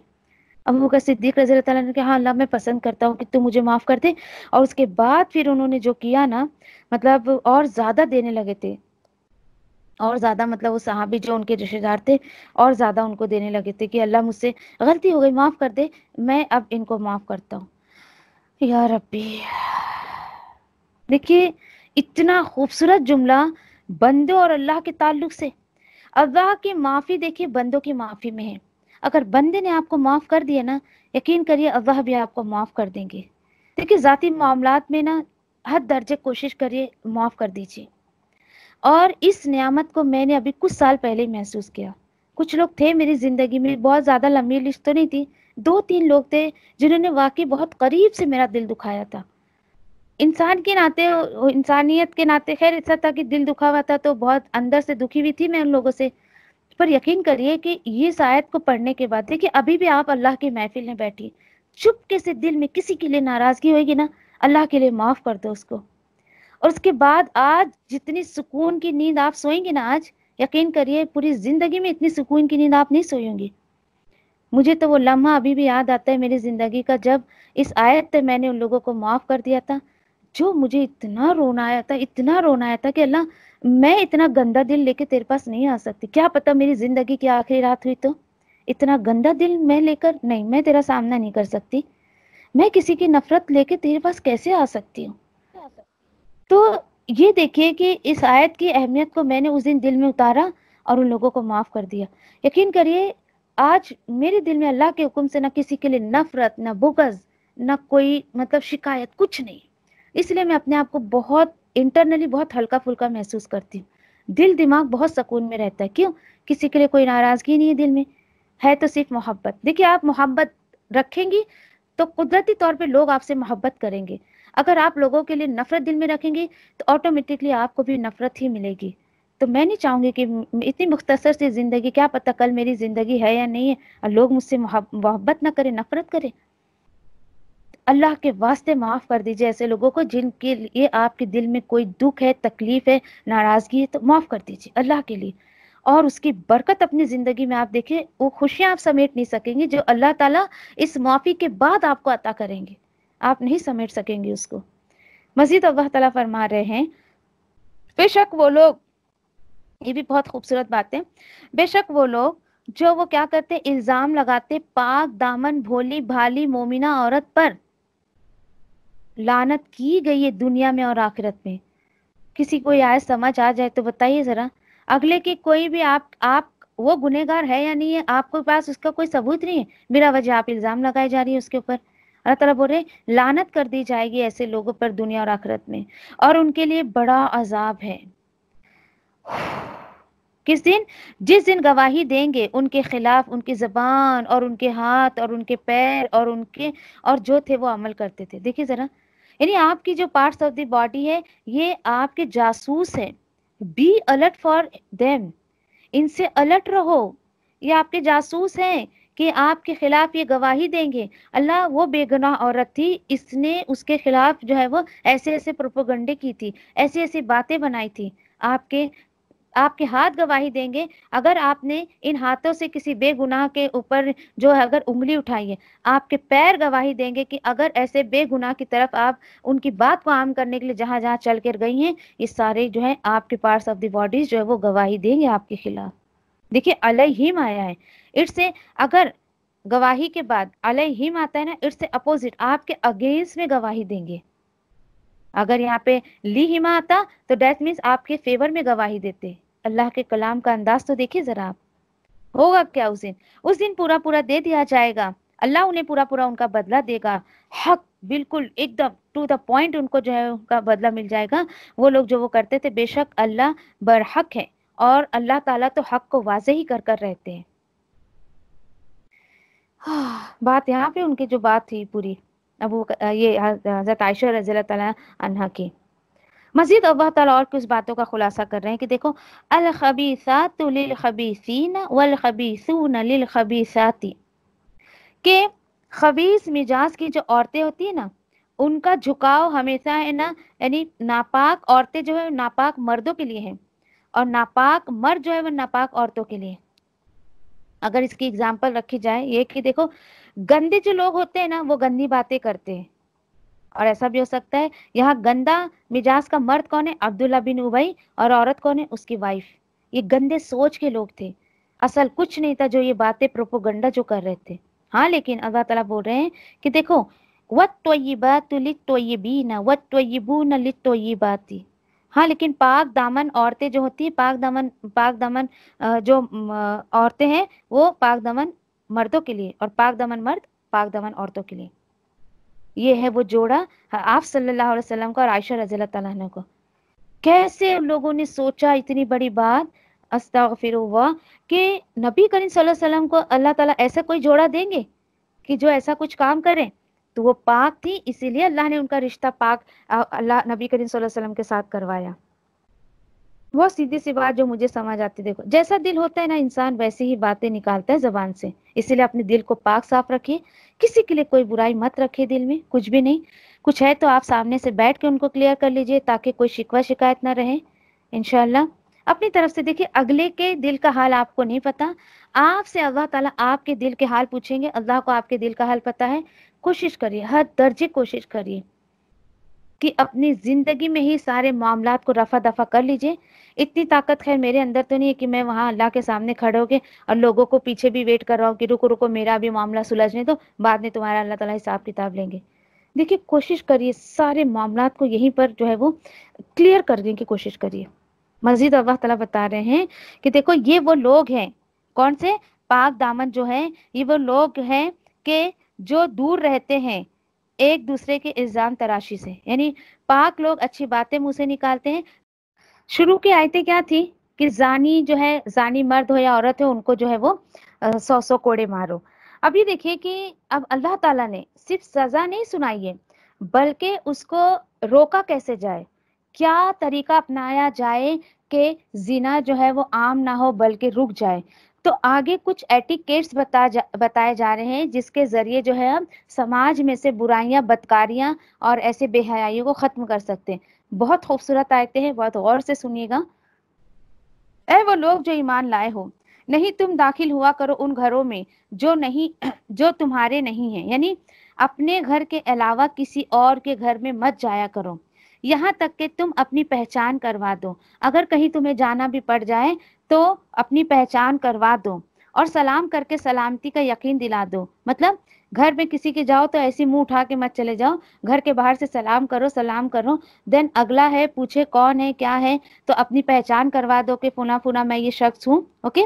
अब यानी उसके रहने वालों को सलाम किए बगैर बगैर परमिशन के। पहचान करा दो यानी बगैर परमिशन के आपको किसी के घर में नहीं जाना है। अपने घर के अलावा, ठीक है? आप अपने घर में जा सकते हैं, लेकिन दूसरों के घर में आपको बगैर परमिशन के नहीं जाना है। ये तुम्हारा ये अमल बेहतर बेहतर है तुम्हारे ही लिए। इसी तरह तुम्हें एक दूसरे के हुकूक याद रहने चाहिए। यानी एक ये इंसान का, एक ईमान वाले का दूसरे ईमान वाले पर यह हक है कि किसी के घर में यही उठे सुठे नहीं चले जाए। फिर ये देखो कि फिर ये वो चीज़ की नफ़ी करती है कि आप किसी को इन्फॉर्म करें, किसी के घर मत जाइए। एक बला जो निकली है सरप्राइज़ तो दीन इसकी नफ़ी करता है। सरप्राइज़ जैसा दीन में कोई काम नहीं है। ये कि आप किसी को सरप्राइज़ देने के लिए जा रहे हैं। आपको क्या पता अगला घर में है या नहीं है? या फिर हो सकता है कि उस वक्त जो है वो आप आप आए और आपकी कोई खातिरदारी नहीं कर सके। वो तो उस पर भी शिकायतें करेंगे, लो भाई, मैं गई, चाय को भी नहीं पूछा मुझे उसने। आपको क्या पता किस माहौल में अभी वो है, नहीं है इस तरीके से? और अल्लाह तला बोल रहे हैं कि देखो, अपना इस तरीके से जो है बहुत ज़्यादा केयरफुल रहना चाहिए। और देखिए कि देखो, आप किसी के घर गए हैं, कैसा है बंदा, कैसा नहीं है, क्या पता वो उसके आराम का वक्त है या कुछ भी, सारे एटिकेट्स इंशाल्लाह सूर्य नूर में हम देखेंगे। बस सीधी सी बात जो यहाँ मुझे और आपको अल्लाह ताला बोल रहे हैं, किसी के घर में बगैर परमिशन मत जाया करो। फिर अगर नहीं तुम पाओ उसमें किसी को, फिर नहीं तुम दाखिल हो उस घर में, यहाँ तक कि तुम्हें इजाज़त दी जाए। क्या पता चला कि अगर तुम वहाँ गए और तुम्हें ये कह दिया गया कि घर में कोई नहीं है। और अगर तुम्हें कहा जाए लौट जाओ तो फिर लौट जाओ हुआ अज कलकुम ये ज़्यादा पाकिजा बात है तुम्हारे लिए। पता है आपको वेस्ट कल्चर इन तमाम आयतों पे अमल करता है। विदाउट इन्फॉर्मिंग किसी के यहाँ जाता नहीं है। और अगर चला गया कोई भाई जिसे मिलना है वो नहीं है घर में तो चले जाओ बोल रहे चले जाओ तो चले जाया करो। आज अगर कोई हम में से किसी के साथ मामला कर दे पूरे खानदान में फ़ोन घुमा के उठा के बोल देंगे देखो देखो मैं गई थी मुझे अंदर नहीं आने दिया मुझे घर से भगा दिया ऐसा किया वैसा किया। एक सहाबा थे कहते थे काश मैं किसी के यहाँ जाऊँ और को, कोई मुझे लौटा दे तो कम से कम इस आयत पे मेरा अमल तो हो जाएगा। तो मतलब पूरे गुस्सा मत किया करो ऐसा कोई लौटा दे तो हाँ इट्स ओके ठीक है चले जाते चले जाया करो। ये अदब सिखाया जा रहा है। वल्लाहु बिमा तामलून अलीम। और अल्लाह वो सब कुछ जानता है जो तुम अमल करते हो। अच्छा नहीं है तुम पर गुना इस बात में कि तुम दाखिल हो ऐसे घर में, जो गैर रिहायशी हो, जिसमें सामान और फ़ायदा है तुम्हारे लिए, और अल्लाह जानता है जो तुम ज़ाहिर करते हो और जो तुम छुपाते हो। ये कौन से घर है बताओ? It's a hotel, hospital, public place जिसको कहा, कह सकते हैं हम लोग आजकल। पब्लिक प्लेस में जाने के लिए आपको किसी की परमिशन लेने की ज़रूरत नहीं है। पब्लिक प्लेस में आप जा सकते हो। यकीन करिए कि कुछ लोगों के तो घर मुझे पब्लिक प्लेस ही रखते there is no restriction no कोई पर्दे का एहतमाम नहीं। उठे सुट्टे जिसको देखो, वही मुँह उठा के चला आ रहा है। यकीन करिए, मैं ऐसे लोगों के घर में बिल्कुल जाना पसंद नहीं करती हूँ। एक दफ़ा मेरा जाना भी हुआ ऐसे किसी के मैं तो मुँह पे बोल के आ गई इनको तुम्हारा घर है ये? कोई भी, जब देखो, जब कैसे भी चला आ रहा है। और बिल्डिंग में रहती हैं, और ये हाल है आपके घर का। इससे अच्छा तो चौल में रहने वाले, कम से कम इतनी प्राइवेसी तो रहती है कि बगैर इजाज़त कोई किसी के घर में नहीं आता। है मैंने कहा, उनको बहुत अच्छे से समझाया कि देखिए अल्लाह ताला आप आपका जो घर है ना, इस घर को अल्लाह ताला पब्लिक प्लेस बोलते हैं। कि कोई परमिशन नहीं ले रहा आपके घर में आने की, कोई भी मर्द ऐसे चला आ रहा है, कुछ मैंने तो छोड़ दिया, उनके घर ही जाना। मैं, मैंने तो साफ़ बोल कह दिया उनसे, मैं आपके घर इसलिए आना पसंद नहीं करती क्योंकि आपका घर मुझे, घर कम और पब्लिक प्लेस ज़्यादा लगता है। तो अवॉइड करिए ऐसी जगह पर जाने ताकि वो, उनको कुछ सीख मिले इस तरीके से। और रोक भी, रोक टोक भी नहीं लगाते। कोई भी उठे सुठे कोई भी ऐसे मुँह उठा के उनके घर में आ जा रहा है। तो देखिए अल्लाह ताला बोल रहे घर जो होता है it's a very private place इसको पब्लिक प्लेस मत बनाओ। अगर अल्लाह को ये अलग से ज़ाहिर करना नहीं होता तो कुछ तो अहमियत अल्लाह ताला बता रहे ना घर की। उसके बाद मजीद अल्लाह ताला बोल रहे हैं कि आप फरमा दे मोमिन मर्दों को। ये भी बहुत अहम आयत, बहुत गौर से सुनिएगा। ये आयत पर्दा है, इसको सुनिए। अल्लाह ताला बोल रहे हैं, आप फरमा दे मोमिन मर्दों से कि वो अपनी निगाहें नीचे रखें। ठीक है? अपनी निगाहों पर काबू रखें, अपनी निगाहें नीचे रखें और अपने शर्मगाह की अपनी इज़्ज़त की जो हिफाजत करे। क्यों ऐसा? क्योंकि ये अमल बहुत पाकिजा है। बेशक अल्लाह खबर रखता है जो वो सब करते हैं। देखिए जरा, आज जहाँ पर्दे की बात आती है तो सबकी नज़र में सिर्फ़ औरत आती है। लेकिन हैरत होगी आपको कि जहाँ पर्दे की बात आई है, कुरान में फ़र्स्ट टाइम, अट्ठारहवें सिपारे में, सबसे पहले मर्द को पर्दा करने का हुक्म दिया गया है। मर्द को किस तरीके से? मर्द अपनी निगाहों पर काबू रखे और निगाहों को नीचे रखे। अब ऐसा नहीं है कि ऐसा, अब देखो यहूजू जो है ना यहूजू निगाहों पर काबू रखने की बात यह है, जहाँ ज़रूरत है, वहाँ वो नज़र उठा सकता है। फॉर एग्ज़ाम्पल कि अगर एक आदमी ड्राइविंग कर रहा है तो हर वक्त तो नज़र नीचे करके नहीं चल सकता है ना? इत्तेफाकन अगर चलो किसी किसी औरत पर नज़र पड़ गई तो दोबारा उस औरत को ताड़ने के लिए, ताकने के लिए और मज़े लेने के लिए दोबारा नज़र उठा के उसको नहीं देख सकता है। एक दफ़ा उठ गई तो इट्स ओके ठीक है, चले गई। मतलब गलती से नज़र चली गई। दोबारा उसने अपनी मर्ज़ी से निगाह उठाया है तो फिर अल्लाह की पकड़ में आ जाएगा वो। और ये इतना बेहतरीन अमल है ना, मर्द के पर्दों का, कि मर्द अपनी निगाहों पर काबू रखे और निगाहें नीचे रखे। क्यों? इससे हो सकता है कि ना वो गैर औरतों पे उनकी नज़र पड़ेगी, ना उनके ख्वाहिशात जागेंगे और इस तरीके से वो अपने शर्मगाह की हिफाजत कर सकेंगे। अल्लाह ताला बोल रहे हैं, ये बहुत पाकिज़ा अमल है। अल्हम्दुलिल्लाह। एक आयत में अल्लाह ताला ने मर्द के पर्दे की बात फिनिश कर दी। अब आइए आपकी मेरी बारी। वकुल्लिल मोमिनाती यकजुदना बी अबसवारिहिन्ना और आप फरमा दीजिए मोमिन औरतों से। देखें ये बात मेरी और आपको समझाने की हो रही है। अल्लाह ताला बोल रहे हैं, इन आयतों पे अमल करना पता है किसको आसान लगता है? जो वाकई अल्लाह और रसूल के इताब करते हैं और उनके कहा मानती है। ऐसे लोगों को कोई अल्लाह की किसी भी आयत अमल करना मुश्किल होता है। हाँ अल्लाह जी, ठीक है, आप कह रहे हो, ठीक है, मैं कर लूँगी हाँ ठीक है। और जिन लोगों को मुश्किल लगता है तो उनको मुश्किल ही लगता है, क्योंकि ईमान अभी दाखिल नहीं हुआ है। ऊपरी ऊपरी ईमान है, दिखावे के मुसलमान, दिखावे के ईमान वाले। अर्थात बोले, मोमिन औरतों से आप कह दीजिए कि वो अपनी निगाहों पर काबू रखें, नंबर वन। अपनी निगाहें नीचे रखें, नंबर टू। और वो हिफाजत करे अपनी इज़्ज़त की, नंबर थ्री। चलो, ठीक है, ये तो मर्दों को भी इतना कहा गया, औरतों को भी। फिर क्या चीज़ एक्स्ट्रा है जो औरतों को कहा गया है? क्या चीज़ एक्स्ट्रा है? वो चीज़ एक्स्ट्रा ये है, चौथी चीज़, और ना वो ज़ाहिर करें अपनी जीनत, मगर जो पितरी तौर पर ज़ाहिर हो जाए।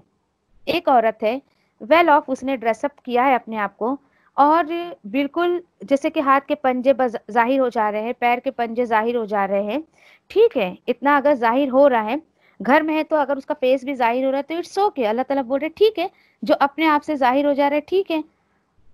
हाँ लेकिन चौथा क्या है? चौथा ये था, पांचवा, और चाहिए कि वो अपनी ओढ़निया, अपनी जो चादरें हैं, ओढ़नी जो ओढ़ती हैं, वो डाले रखें अपने गिना पे, यानी अपने सीने पर। औरतों को पर्दा सीने का भी है, बाल का भी है, जीनत का भी है। ये थी, ये था पांचवा हुक्म। औरत अपने सीने को हमेशा ढाक कर रखे। क्यों? क्योंकि सीना औरत के वाहिद वो खूबसूरती है कि मर्द उसकी तरफ़ अट्रैक्ट होता ही होता है और अगर उसने उसका पर्दा नहीं किया तो बहुत पॉसिबिलिटी है कि मर्द जो है, कुछ ना कुछ बेहयाई की तरफ़ माइल हो सकता है।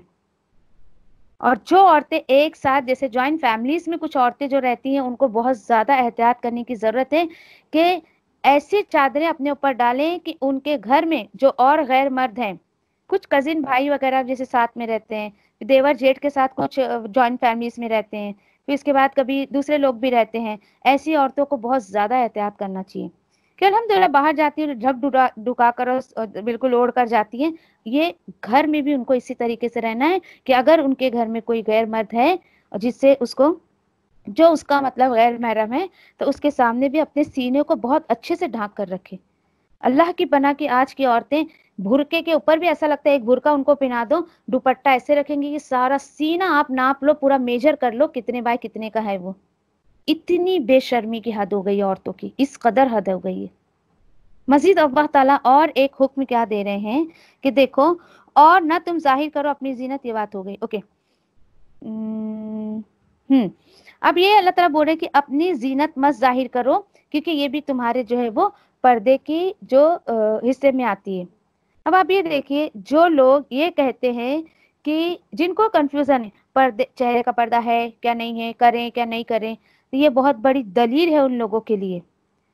फेस, चेहरे का लफ्ज नहीं आया है, लेकिन मैं अगर आपसे एक सवाल करूँ कि हम हम जब अपने आप को तैयार करते हैं तो सबसे ज़्यादा जो तैयारी हमारी किस पर होती है? हाथ पर होती है, पैर पर होती है, कहाँ होती है? चेहरे पर ही होती है ना? अल्लाह ताला ने कहा है कि अपनी जीनत को छुपा लो। जीनत क्या है पता है आपको? हर वो चीज़ जिसकी तरफ़ मर्द अट्रैक्ट होता है और उसके अंदर कुछ ख्वाहिशात जागती हैं। तो बताइए, क्या औरत का फेस उसका जीनत नहीं है? सबसे ज़्यादा लीपअप होती तो वो फेस पे ही करती है। सारा मेकअप तो फेस का ही रहता है। तीन तीन चार चार घंटा पार्लर में सिर्फ़ फेस के लिए देती है वो। और कहती है कि फेस हमारा जीनत नहीं है। आप जब अपने बच्चों के लिए, भाई के लिए लड़कियाँ देखने जाती है तो क्या देखती हैं आप उनके अंदर? फेस ही तो देखती है ना। तो फेस क्या आपकी जीनत में नहीं आता है? ये बहुत बड़ी दलील है कि आपको चेहरे को भी छुपाना है। हाँ ठीक है, आप ऐसा नहीं समझती, भाई, मैं तो बहुत बदसूरत हूँ, क्या करूँ? मैं अभी कोई जीनत नहीं है मेरे चेहरे पे, इतनी खूबसूरती नहीं है, मैं तो सबको दिखाती जाऊँगी। दिखाइए, फिर मत करिए पर्दा। सो वॉट लेकिन जो औरत ये सोचती है कि मेरा फेस खूबसूरत है या फिर मेरा फेस मेरे लिए जीनत है और ये जीनत सिर्फ़ और सिर्फ़ मेरे शोहर के लिए है तो वो उस चीज़ों को ढाक ढूक के जाएगी। फिर इसी तरीके से जीनत में ये भी चीज़ें आती है, जैसे कि आपने अगर हाथ में मेहंदी वगैरह लगाई है फिंगर रिंग्स आपने पहने इयर आपने पहनी है, ये चीज़ें मर्द को अट्रैक्ट करती हैं। तो हर तब उस तक जो है बहुत कोशिश करिए। कि इन चीज़ों को भी आप बहुत ज़्यादा नुमाया मत करिए किसी के सामने। अगर ये जीनत आपके अंदर है तो मत उसको ज़ाहिर करिए। ठीक है? फिर उसके बाद आगे ये बताया गया, और ना ज़ाहिर करें अपनी जीनत। अब क्या करें? बोलेंगे, क्या है ना, अल्लाह ताला भी इतना हम पार्लर से तैयार हो क्या है अब क्या करें? कोई तो हो देखने वाला। हाँ तो ठीक है, दिखाइए ना, किसको दिखा सकते हो आप? अल्लाह ताला बोल रहे और ना ज़ाहिर करें अपनी जीनत, सिवाय अपने शोहर के, अपने बाप दादा के अपने शौहर के बाप के यानी आप आप अगर तैयार हुई तो आप अपने ससुर के सामने भी जा सकती हैं, अपने बेटों के सामने जा सकती हैं। शौहर की दिगर बीवियाँ हैं, बेटी, बेटे हैं, यानी एक औरत, एक एक मर्द के और बीवियाँ रहती है ना, अगर उनके बेटे हैं तो आप उनके सामने जा सकती हैं, अपने भाइयों के सामने जा सकती हैं, और अपने भाइयों के बेटे यानी सगा भतीजा आपका है, सगा भतीजा। और अगर आपकी कोई सगी भतीजी है, ओके, बहन को बेटे यानी भांजे, ओके और ऐसी औरतें जो तुम्हारी मतलब जैसे सर्वेंट वगैरह, मासी वगैरह होती हैं तो ऐसे के ऐसी औरतों के सामने भी आप जा सकती हैं, लेकिन ऐसी औरतों के सामने बिल्कुल मत जाइए जिनके अंदर शहवत होती है, जो होमोसेक्सुअल में, जो ऐसी बदकारियों में है कि औरत औरत से भी सेक्स करती है। अल्लाह की पना की जब काउंसलिंग का काम मैंने शुरू किया था काउंसलिंग भी अल्लाह के हुक्म से, जो अल्लाह ने हिकमत दी है, जो भी साइकोलॉजी अल्लाह ने अपनी किताब से सिखाया है तो कुछ लोगों की काउंसलिंग मैंने की थी। तो यकीन करिए कि पैर के नीचे से ज़मीन खिसक गई। ऐसे ऐसे लोग मुझे मिले काउंसलिंग के लिए, अल्लाह अकबर। यकीन करिए, मेरी अब तक की लाइफ में मैंने ऐसी बातें कभी नहीं सुनी थी कि लोग ऐसे भी हैं दुनिया में। तो ऐसी औरतों के सामने भी मत जाइए आप, जिनके अंदर शहवत होती है औरत से औरत की करने की। अल्लाह तला मजीद बता रहे हैं, और वो बूढ़े नौकर चाकर जो किसी के जिनसी ख्वाहिश की किसी, कोई, किसी भी किस्म की जिनसी ख्वाहिशात नहीं रखते। मतलब आपके ऐसे कोई मतलब बड़ी एज के है, लेकिन वो आपके सर्वेंट वगैरह हैं तो आप उनके सामने जा सकती है, क्योंकि आपको देख के उनके अंदर कोई अट्रैक्शन नहीं होएगा, कि कोई माइल नहीं होंगे वो। अच्छा और कम उम्र के लड़के, जिन्हें अभी तक औरतों की छुपी हुई बातों का इल्म नहीं है, मैं समझती आयत के इस हिस्से पे तो छोड़ ही दीजिए कि आज कोई अमल हो सकता है। आज किस लड़के को नहीं पता है कि सेक्स क्या होता है? किसको नहीं पता? आपको पता है? फिफ्थ सिक्स स्टैंडर्ड में कॉन्वेंट स्कूलों में सेक्स की पूरी मूवी ओपन करके उनको दिखा दी जाती है। और इस तरीके से बच्चों का जहन भटकता है। तो आज आपके सामने दस साल का बच्चा भी है ना तो आप उसको अपने लिए गैर महरमी समझ लीजिए। क्योंकि उसके ऊपर सारी बातें वाजे कर दी जाती है कि औरत क्या होती है? औरत के प्राइवेट पार्ट्स क्या होते हैं? सेक्स क्या होता है? ये क्या होता है? वो क्या होता है? Everything they have to know तो मैं तो नहीं समझती कि दस साल के बच्चे से भी हम जो है वो पर्दा ना करें। नहीं, दस साल का बच्चा भी आपके सामने अगर है ना तो उससे भी पर्दा करिए आप। यानी जो चीज़ें छुपाने का हुक्म अल्लाह तला दे रहे हैं, उस चीज़ों को छुपाइए उनके सामने से भी। और फिर उसके बाद क्या होता है बताइए देखिए, एक लड़का, पहली बात तो देखिए कि इट्स योर ड्यूटी कि आप अपने घर के बच्चों को, छोटेपन से ही समझाइए कि बेटा ये तुम्हारी बहन है और ये माँ है, इनके सामने नज़रें नीचे करके रखो। और जिस बच्चे के अंदर ये आदत होगी ना ना वो अपनी माँ पे नज़र डालता है, ना अपनी बहन पे नज़र डालता है, यकीन करिए बच्चा बाहर जाके कभी भी दूसरी औरत पे भी नज़र नहीं डालेगा इस तरीके से तो कभी नहीं डालेगा। और जो बेटे, wow mamma you looking so pretty why you looking very fatty और आप पे ये कपड़ा सूट नहीं करता है, आप ये मेकअप क्यों नहीं करती हैं, ऐसा क्यों करती हैं? बहन को भी एडवाइस देते रहता है तो आपको क्या लगता है, जो माँ बहन पे, घर पे नज़र रखता है तो बाहर की लड़कियों पे नज़र नहीं रखता होगा? तो अपने बच्चों के बोल पे ध्यान दीजिए, वो बोलते क्या है आपके सामने? चाहे वो लड़का हो, चाहे लड़की हो। इसी तरीके से लड़कियाँ अगर अपने बाप और भाई के बीच में बहुत ज़्यादा इन्वॉल्वमेंट होती है ना तो यकीन करिए, भाई और बाप के साथ तो वो चीज़ें वो कर नहीं सकती हैं। तो ऐसे बच्चियों का जहन भटकता है, फिर बाहर लड़कों के साथ सोचती है करने की, मैं इसकी तारीफ़ करूँ, इसको एडवाइस दूँ, ये पहन, वो कर वो कर। बच्चों पे बहुत ज़्यादा ध्यान रखिए कि वो आपके सामने बोलते क्या हैं, क्या अल्फाज इस्तेमाल करते हैं। मजीद अल्लाह ताला बोल रहे हैं, अब यही जो पर्दे की बात है, आखिरी बात यह है, और नहीं वो मारे अपने पैरों को ज़मीन में। इसलिए कि वो जीनत जो छुपी हुई है, वो नज़र आ जाए। ये क्या है पता है आपको? जैसे कि पैर में पायल है हील वाली सैंडल पहन के टुक टुक टुक टुक करके चलती है लड़कियाँ। तो इट्स ऑल्सो द जब ये भी एक रीजन होता है मर्द को अपनी तरफ़ अट्रैक्ट करने का। फिर इसी चीज़ में देखिए कि औरतें खुशबू लगाकर बाहर निकलती हैं। आपको पता है नबी करीम सल्लल्लाहु अलैहि वसल्लम ने खुशबू लगाकर बाहर जाने वाली औरतों के बारे में क्या कहा है? जो औरतें खुशबू लगाकर बाहर जाती हैं गोया कि वो रेपिस्ट है, वो जानिया है, जैसे उन्होंने किसी का जिना कर दिया है। मुझे तो घिन आती है, पता नहीं, सोचकर ऐसी औरतों के बारे में। ज़रूरत क्या है उन्हें घर के बाहर खुशबू लगाकर जाने की? इजाज़त है औरत को सिर्फ़ और सिर्फ़ अपने शोहर के पास तो खुशबू लगाकर जा सकती है? कि अगर उसके जिसम से कुछ ऐसी स्मेल आ रही है, जिससे उससे शोहर को कबाहत होगी? उसके शोहर को ना पसंद आएगी कि दिन भर देखो तो पसीने में लिपटी रहती है और वही पकाया, वो वही पसीना और रात में मेरे पास आ जाती है ऐसी। औरतों को सबसे ज़्यादा अगर उनके जीनत का हकदार है तो उसका शोहर है। जो करना अपने शोहर के लिए करो। सारी ख्वाहिशा सारी भड़ास अपने शोहर के सामने निकालिए, आपको जो निकालनी है। खुशबू लगाने लगा लिए, हिल वाली पहनना, आपको जो करना है, आप ऐसी कोई चीज़ पहनती ओढ़ती हैं, बाहर जाते हो, बहुत ज़्यादा एहतियात करिए। अल्लाह मना नहीं करता देखो सजने के लिए। अल्लाह ताला बोलता मैं जमाल हूँ, मुझे जमाल पसंद है। अल्लाह ताला ने अभी साइतों का बिल्कुल ये मतलब मत लीजिए कि औरत सजे नहीं सवरे नहीं। कर सकती है? मुझसे कोई पूछता है तो मैं तो बोलती मैं फतवा नहीं दे रही तुम्हें। लेकिन अल्लाह ने जो मुझे समझाया, मैं आपको बता रही हूँ। आप जो भी करेंगे ना, उसके पीछे नियत आपकी। अगर शादीशुदा आप है तो सिर्फ़ और सिर्फ़ आपका मकसद हो कि मेरा शोहर खुश रहे मुझसे। दूसरा मकसद आपका ये नहीं होना चाहिए गैर मर्दी मुझे देखे, मेरी तारीफ़ करे। ये नहीं होना चाहिए। जाइए अपने शोहर के साथ किसी भी महफिल में आप। जाइए, कोई बात नहीं। बिना झिझक जाइए। आप घर से भी तैयार होके जा रही हैं तो उसके पीछे सिर्फ़ आपका मकसद ये हो कि मतलब मेरा शोहर ने मुझे देख रहा है ना, वो खुश हो जाए मुझे देखकर, मुझे दुनिया वालों को थोड़ी दिखाना है। ये सोच आपकी होनी चाहिए, क्योंकि आपकी नियत के साथ अल्लाह ताला है कि किस सोच से आपने अपने आप को बनाव सिंगार में रखा है। तो जो औरतें मस्त में छम छम छम करके पायले मार मार के चलती ज़मीन में, फिर उनके बारे में क्या कहा जाएगा? कैटवर्क जो करती है, उनके बारे में क्या कहा जाएगा? ये सब पर्दे की बातें हैं। इन शॉर्ट, हर वो काम औरत का पर्दे में आएगा जिससे मर्द अट्रैक्ट होता है। हर वो चीज़ इसमें आ जाएँगी। उसके बाद अल्लाह ताला बोल रहे हैं, देखो आपको थोड़ा ताजुब होगा, वतूबु इलल्लाहि जमीअन, अय्युहल मुमिनून लअल्लकुम तुफ्लिहून। तुम सब मिलकर तौबा करो अल्लाह के सामने। एक साथ होकर, ए ईमान वालो, ताकि तुम कामयाब हो जाओ। ये क्या बात हो गई? तौबा की बात कहाँ से आ गई यहाँ पर? ये बताया जा रहा है कि ठीक है अब तक है ना, कुछ मर्दों को नहीं पता था कि उनके मतलब बीवियों को, देखो, मर्द के हाथ में कि वो अपनी बीवियों को पर्दा करवाए। कुछ मर्द तो इतने एडवांस होते हैं, इतने एडवांस होते हैं। पाँचों वक्त की मस्जिद में नमाज़ पढ़ेंगे और जब उन बीवियों को दिखाना होगा तो बिल्कुल खोल खोल कर दिखाते हैं अपनी बीवियों को, लोगों में इस तरीके से। तो अल्लाह ताला इसलिए बोल रहे सब के सब, यानी घर के जितने लोग हैं, अगर उनसे ऐसी कोई गलती हुई है तो अल्लाह ताला बोल रहे जमी अन एक साथ अल्लाह के हुजूर में तौबा कर लो, अगर ऐसी कोई गलती हो गई है तो। माफ़ कर दूँगा मैं।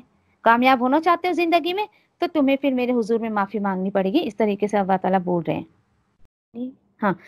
अब अब मजीद, अब देखो क्या बताया जा रहा है कि ये था जिना को किस तरीके से जो हम रोक सकते हैं। पहले जो है वो घरों में इजाज़त के बगैर ना जाए ऐसे ऐसे एहतियात करें। फिर पर्दे का एहतियात अगर औरत करती है तो उस तरीके से भी बहुत सारे जो है वो जीना करने से मर्द जो है वो रुक सकते हैं अगर औरत अपने आप को ढक ढुका कर और अगर वो पर्दे में रहे तो। उसके बाद अल्लाह ताला बता रहे हैं और निकाह की फ़िक्र करो किसकी? तलाक याफ्ता औरतें हैं या जो औरतें अकेली हैं इस तरीके से भी जो है हम वो आ, इसको रोक सकते हैं। किसको? जीना को। कैसे कि अगर कोई अनमैरिड लड़की है तलाकशुदा कोई है और ऐसी औरतें हैं जो अभी जिनका निकाह नहीं हुआ तो अल्लाह तला बोले निकाह करवा दो। इस तरीके से भी तुम जीना को रोक सकते हो। क्यों? क्योंकि देखिए जीना इंसान करता कब है? जब उसकी जा, जा, जो जायज़ ख्वाहिशात है वो पूरी नहीं होती। जब वो करता है ना तो करने दो ना उसको। यानी कि किस तरीके से? उसको ख्वाहिशात को पूरी करने दो, लेकिन जायज़ तरीके से और निकाह वो अमल है जो उसकी ज़रूरत को पूरी कर सकता है। अल्लाह ताला बोल रहे और नेक और सौले तुम्हारे गुलाम जो हैं, उनका भी निकाह करवा दो और तुम्हारी सर्वेंट जो है मर्द और औरत जो भी उनका निकाह करवा दो। अगर वो हो तंग दस तो अल्लाह ताला उन्हें गनी कर देगा अपने फजल से। इतनी बेहतरीन बात है ना?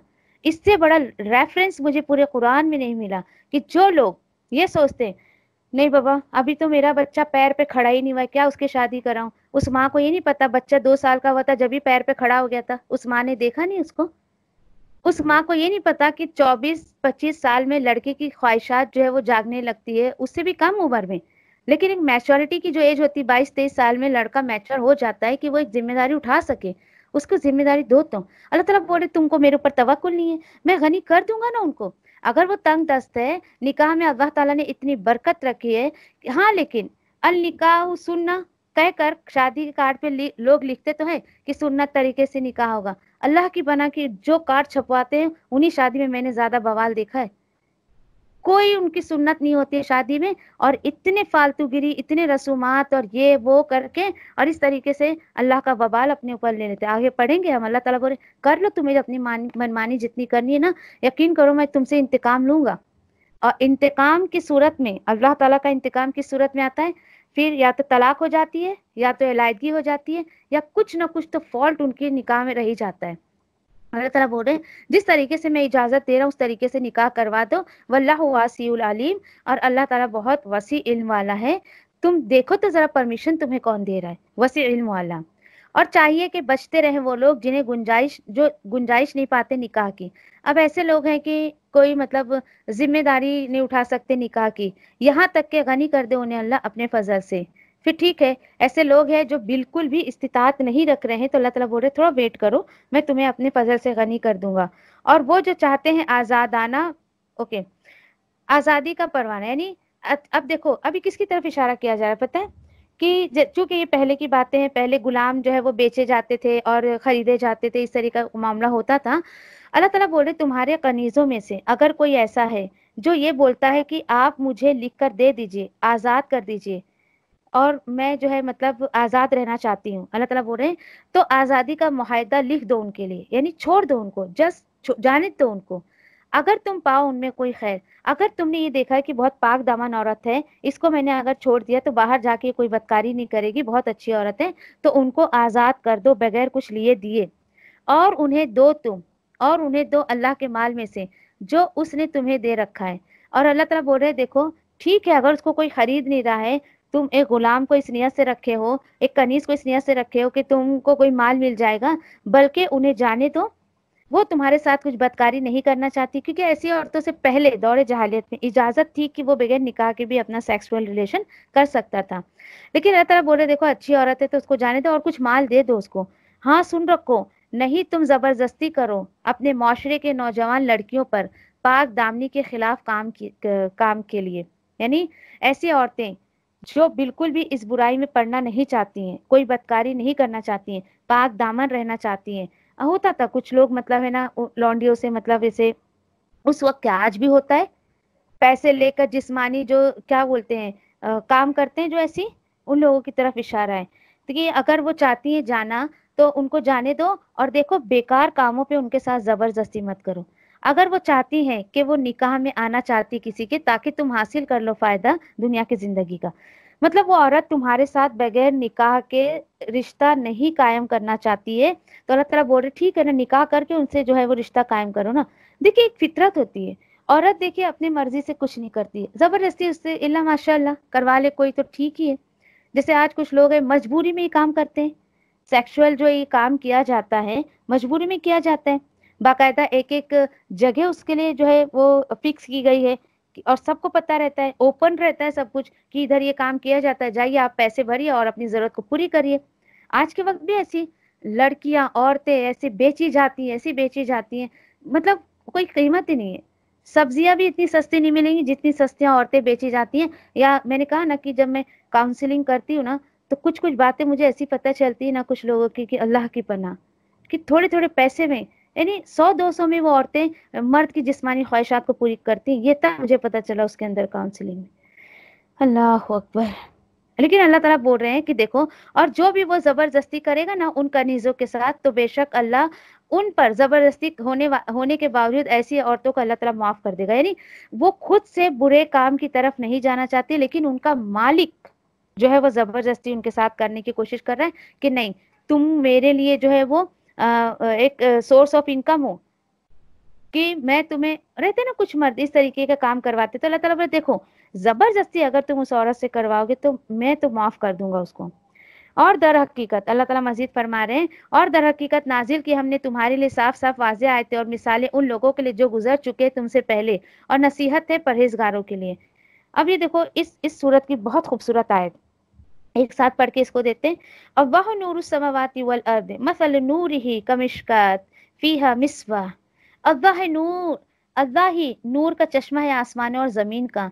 उसके नूर की मिसाल ऐसी है जैसे कि ताक, उसमें फानूस और वो फानूस शीशे में है और वो शीशा ऐसे जैसे कि कोई रोशन सितारा। जैसे रोशन की, जिसे रोशन किया जाता है जैतून के मुबारक दरख्त से, जिसकी रोशनी हर तरफ़ फैली रहती है। ना सिर्फ़ मशरक और ना सिर्फ़ मगरब में। करीब है कि उसका जो रोगन है, उसका जो ऑयल है, वो रोशन कर दे। अगर चाह छुआ, उसको किसी मतलब ईंधन ने, किसी आग ने छुआ भी नहीं हो तो भी वो अपने आप ही रोशन हो जाते हैं। हर तरफ़ नूर ही नूर हो जाता है। अल्लाह हिदायत देता है अपने नूर के ज़रिए जिसे वो चाहता है और बयान करता है अल्लाह मिसाल इंसानों के लिए। यकीनन अल्लाह को, यकीनन अल्लाह को हर चीज़ की मुकम्मल जानकारी है। बहुत खूबसूरत आयत है।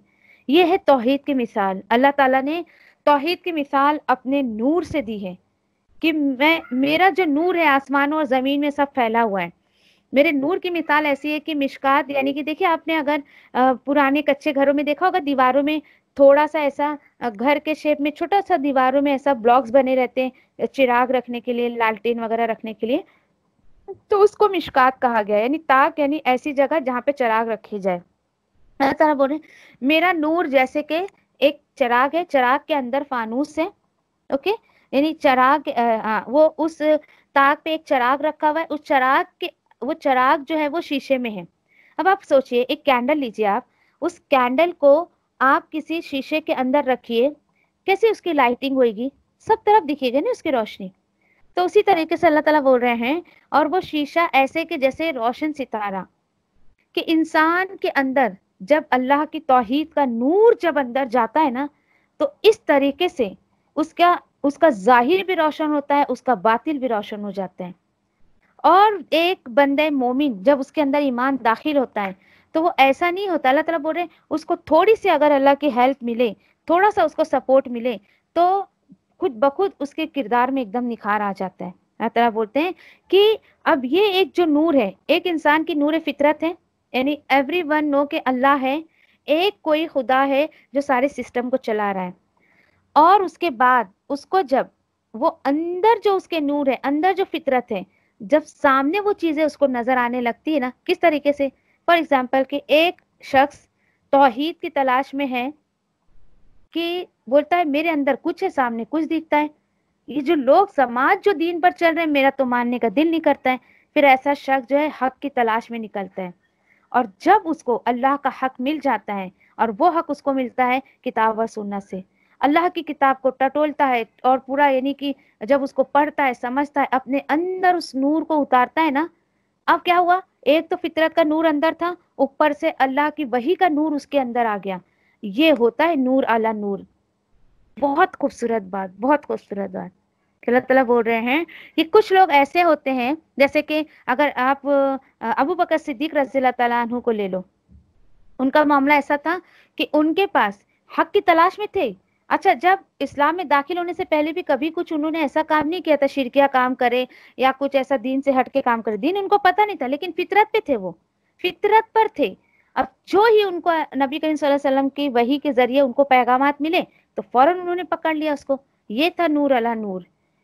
कि जो फितरत में इंसान होता है, वो चीज़ अगर अल्लाह की किताब के ज़रिए उसको मिल जाती है ना, फिर उसकी ज़िंदगी पूरी रोशनी से भर जाती है। आज मुझे और आपको इस रोशनी की तलाश है।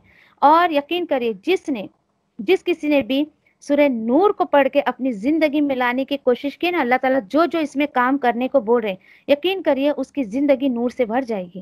अल्लाह ताला बोल रहे हैं, अल्लाह ताला हिदायत देते हैं अपने नूर को जिसके, जिससे चाहते हैं और अल्लाह ताला मिसालें बयान करते हैं लोगों के लिए अपने इल्म के बेस पर। और होता क्या है? ये नूर नूर जो है अल्लाह ताला बोल रहे हैं घरों में ऐसे घरों में ये नूर होता है। आ, हाँ जो वो हुक्म हुक्म देता दिया उसने अल्लाह ने हुक्म दिया है कि बुलंद किया जाए और ज़िक्र किया जाए उस उसमें अल्लाह के नाम का और तस्बी बयान की जाए उसकी उस घर में सुबह और शाम। ये नूर ये हिदायत का नूर किस घर में होता है? जिस घर में सिर्फ़ और सिर्फ़ अल्लाह का बोलबाला होता है। अल्लाह को छोड़ के दूसरे लोगों को जो लोग नहीं पुकारते अपने घरों में, अल्लाह ताला बोलते हैं, असल में ये तोहीद का नूर मैं उन लोगों के घरों में देता हूँ, जो सिर्फ़ और सिर्फ़ दिन रात मुझे पुकारते मेरी तारीफ़ करते हैं। ये कौन से लोग होते हैं? तारीफ़ बयान की जा रही है। ये ऐसे लोग हैं, नहीं गाफिल करते हैं जिनके जिन्हें उनका काम, उनका जॉब, उनकी सर्विस, उनके बिज़नेस और ना ही कोई लेन देन अल्लाह के ज़िक्र से। ये बहुत खूबसूरत बात है। अतरा बोल रहे हैं कि जब एक इंसान के अंदर तोहहीद का नूर आता है ना फिर उसको दुनिया की कोई चीज़ नज़र नहीं आती है।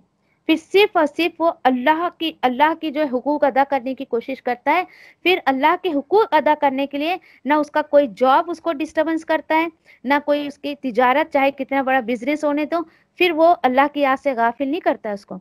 तरह बोल रहे हैं, और वो नमाज़ को कायम कर, यानी नमाज़ के कायम करने से जो है वो उसको गाफिल नहीं करते, जक़ात अदा करने से गाफिल नहीं करते। वो भूलता नहीं, हाय है मैंने जक़ात चार साल पहले दी थी, अब चार साल भूल गया। नहीं, ये वो लोग होते हैं, देखिए तोहीद की दौलत बहुत बड़ी नियामत है इंसान के लिए, बहुत बड़ी नियामत है, अल्लाह से मांगिए इस नियामत को। मजीद अल्लाह तला बता रहे हैं, और वो सब डरते हैं उस दिन से, जिस दिन पलट जाएँगी, पलट कर रख दी जाएँगी जिसमें दिल और निगाहें, यानी कयामत के दिन से वो डरता है। ये ये खूबियाँ अपने अंदर पैदा करने की कोशिश करिए क्यों ये कयामत के दिन आएगा? ताकि बदला दिया जाए, बदला दे उनको अल्लाह बेहतरीन जो उन्होंने अमल किए और वो बढ़ा कर दे उनको अपने फजल से। अल्लाह वो रिस्क देता है जिसे वो चाहता है बगैर हिसाब के।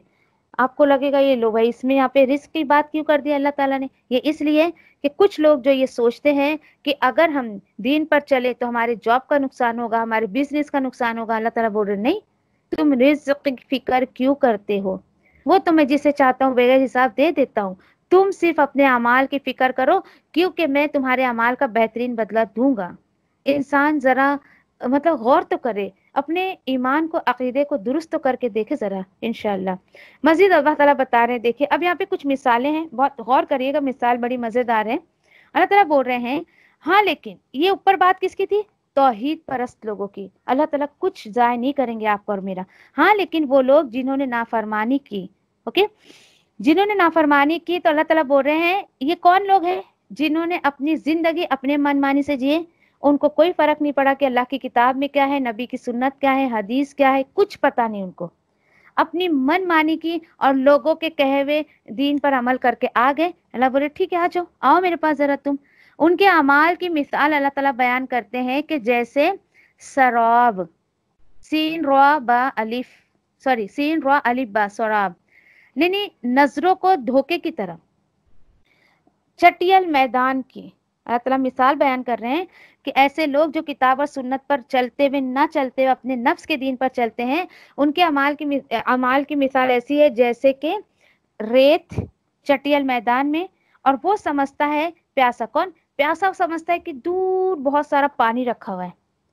यहाँ तक कि जब वो आ जाता है उसके पास, नहीं वो पाता है उसको, यानी प्यासा है प्यासा है, दौड़ के जा रहा है, उसको ऐसा लग रहा है दूर बहुत ज़्यादा चमकती हुई रेत रखी होगी और उसको लगेगा कि हाँ हाँ पानी है, वहाँ पे चलो जाके मैं पानी पीता हूँ।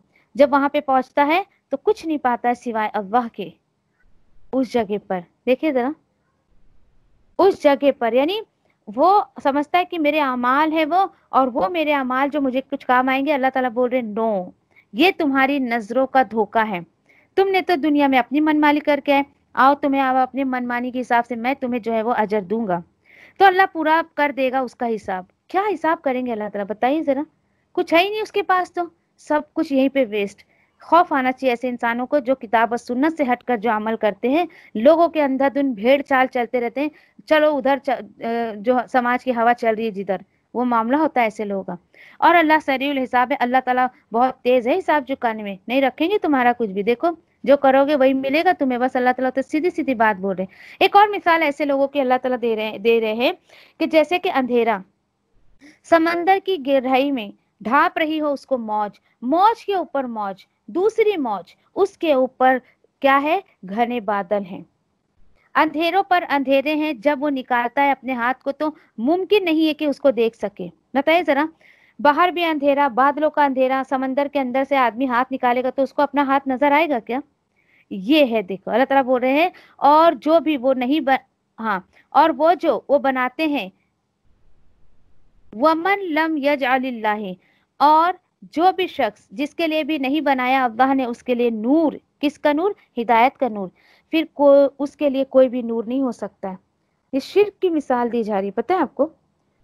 कि दुनिया में ये लोग अल्लाह की हिदायत पर, अल्लाह के तोहीद पर चलने के बजाय अपने मर्ज़ी के दीन पर चलते थे तो अल्लाह ताला बोल रहे, तुम्हारे अमाल बिल्कुल वेस्ट वेस्ट वेस्ट। तुम्हारे हाथ कुछ नहीं लगने वाला है। खौफ आना चाहिए ऐसे इंसानों को, ऐसे मुसलमानों को, जो इस आय से कुछ सबक ना ले सके। मजीद अल्लाह ताला बता रहे हैं, क्या तुम गौर नहीं करते कि अल्लाह जिसकी तस्वीर करते ही रहते जो आसमानों में और ज़मीन में, तुम्हें इनकार करने करो क्या हो गया? ज़मीन की दूसरी चीज़ें तो मेरी इबादत कर रही है ना? और परिंदे भी पर फैलाए हुए हैं। देखिए जरा, पर जब परिंदे फैलाते गोया के वो अल्लाह की तस्बीहात कर रहे हैं। बेशक हर एक को मालूम है अपनी, अपने फराइज, अपनी इबादत और अपनी तस्वीर का तरीका सबको पता है। तुम्हें तुम नहीं जानते हो ये परिंदे किस तरीके से तस्बियात करते हैं, दुनिया की दूसरी चीज़ें अल्लाह की कैसे, अल्लाह की मखलूक है जो कैसे तस्बियात करती है। वल्लाम बिमा या फालून यकीन अल्लाह जानता है जो तुम कर रहे हो। वलिल्लाहि मुल्कु समवाती वल अर्द, आयत नंबर 42 और अल्लाह ही के लिए बादशाहत है आसमान और ज़मीन में, और भूलो मत, उसी की तरह सबको लौटना है। तो कितनी सिंपल सी बात है, जिसके पास लौट के जाना है, उसको खुश करिए ना, वो जो बोल रहे हैं वो करिए ना, उसको नाराज़ करके तुम क्या जाओगे उसके पास, किस मुँह से जाओगे? जुमला तो बहुत सारे लोग बोलते हैं बाबा अल्लाह का डर अल्लाह के सामने खड़ा होना अल्लाह को मुँह नहीं दिखाना है क्या? अब काम सारे ऐसे ऐसे रहते हैं उनके। मजीद अल्लाह तला और गौर दिलवा रहे हैं। अल्लाह ताला अपनी खलकत में बनावट में क्या तुम गौर नहीं करते हो कि अल्लाह ही है जो चलाता है बादलों को? फिर वो मिला देता है उसे आपस में फिर वो बनाता है उसे तहबत है फिर तुम देखते हो बारिश की बूंदे जो निकलती है उसके दरमियान से। अब ये आ, कहना चाहिए प्रोसीजर ऑफ़ रेन बारिश अल्लाह ताला किस तरीके से बरसाते हैं, उसका प्रोसीजर अल्लाह ताला बता रहे हैं। साइंस आज डिस्कवर किया साइंस ने, अल्लाह ताला ने अपनी किताब में कितने पहले बता दिए। तो देखिए, आप अगर अल्लाह का तारुफ कराना चाहती है ना, अपने बच्चों को तो अल्लाह की किताब के ज़रिए करवाइए। नहीं तो ये साइंस के बंदे बन के रह जाएँगे, बोलेंगे नेचर का इंट्रोडक्शन तो हमें साइंस से मिला है तो हम तो साइंस को पूजेंगे, साइंस को अपना माबूद बनाएँगे। आप अगर अल्लाह की खलकत, अल्लाह की बनावट, अल्लाह के ज़रिए इंट्रोडक्शन नहीं देंगे तो आपके बच्चे जाते रहेंगे आपके यहाँ से। मजीद ये बताया जा रहा है कि उसके दरमियान से जो है वो निकलती है बारिश की बूंदे और वो नाजिल करता है आसमान की बूंदों से पहाड़ों की चोटियों पर, जिसमें होती है बर्फ़, यानी ओले की तरफ़ इशारा किया जाए फिर वो बरसाता है ओलों को, जिस पर वो चाहे। कितनी खूबसूरत बात। है ओले की बारिश जहाँ होती है तो एक साथ सब जगह नहीं होती है, क्योंकि अल्लाह को पता है कहाँ बरसाना है, कहाँ नहीं बरसाना है। और फेर देता है उन्हें जिससे वो चाहता है, यानी जिसको ज़रूरत नहीं, उसको नहीं बरसाता है उसके ऊपर करीब है कि बिजली की चमक छीन ले जाए आँखों की रोशनी को। अल्लाह बता रहे हैं कि देखो इतनी बिजली की चमक मेरी हार्ड होती है कि लोग इतना खौफ खाते हैं उससे और सोचते हैं कहीं बिजली की चमक जो है हमें, हमारी नज़रों को उछक कर ही ना ले जाए। आप बताइए, मिसाल देके अल्लाह ताला क्या समझाना चाह रहे मिसाल नहीं है मतलब ये एक गौर तलब, तदब्बर की बातें हैं। अल्लाह ताला बोल रहे हैं कि देखो, तुमको टीम वर्क करना है ना तो मेरे इन बादलों से टीम वर्क को जो है वो करने की कोशिश करो कुछ सीखो इनसे। देखिए कि मुझसे कोई पूछता है ना, तुम्हारी टीचर कौन है? तो मैं कहती हूँ कि हर वो चीज़ मेरी टीचर है जिससे मुझे कुछ ना कुछ सीखने को मिलता है।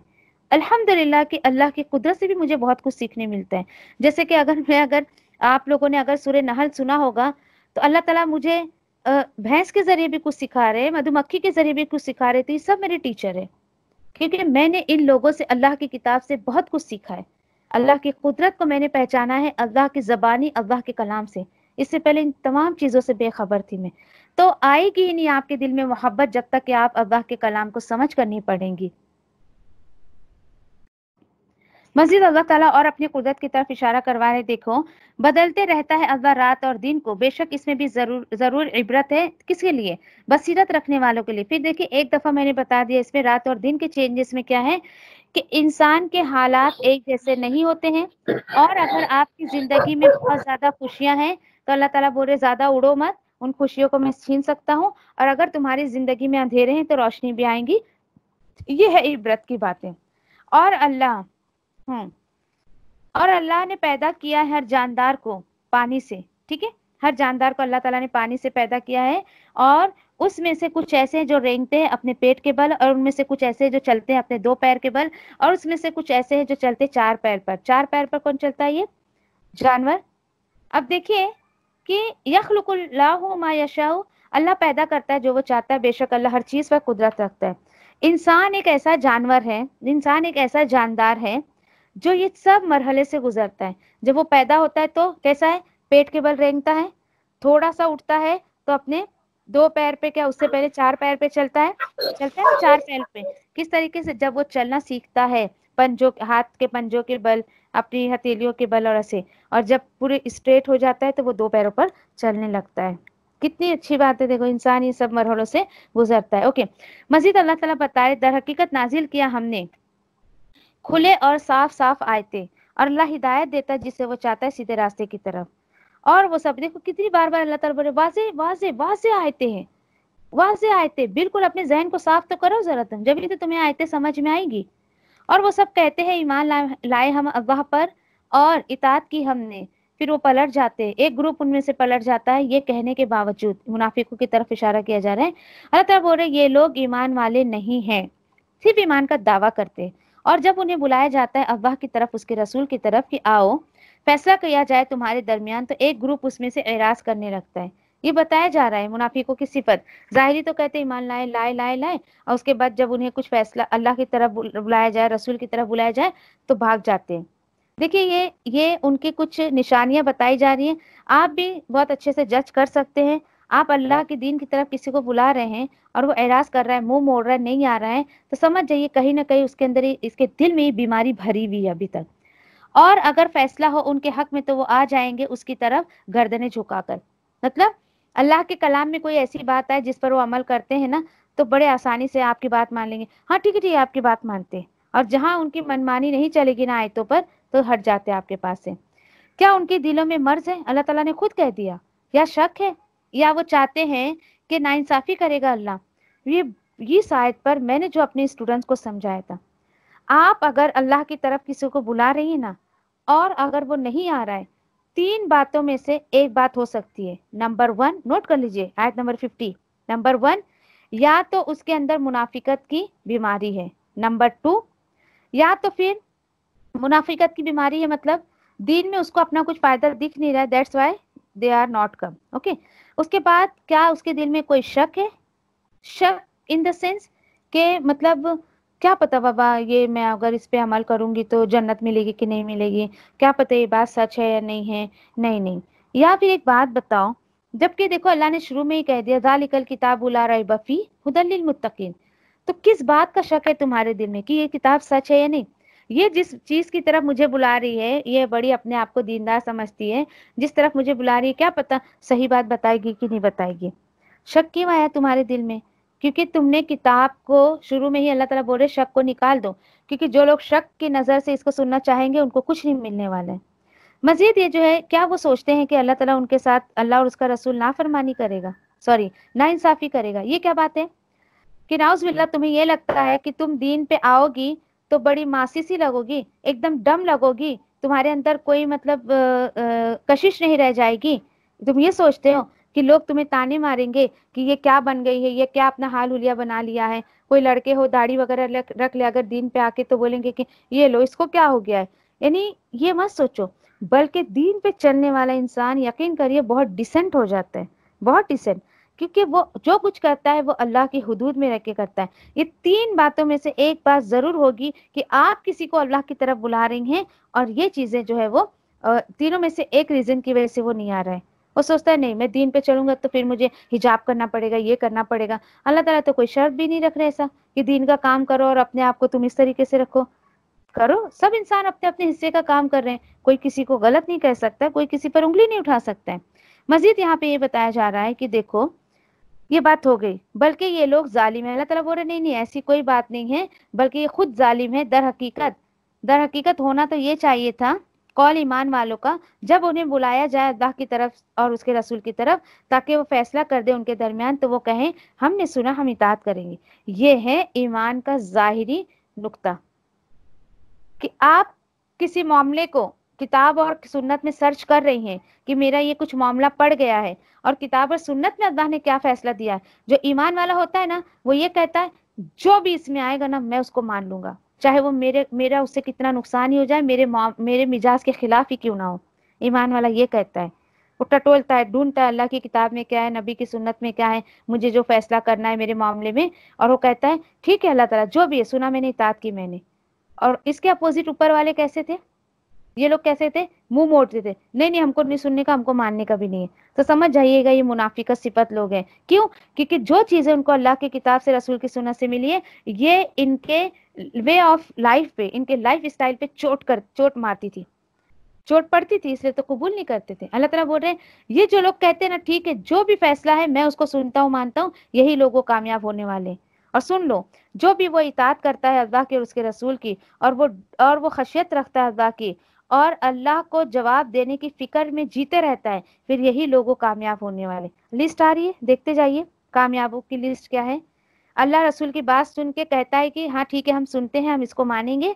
अल्लाह रसूल की बात पर लब्बई कहता है, अल्लाह से डरते हुए ज़िंदगी गुजारता है।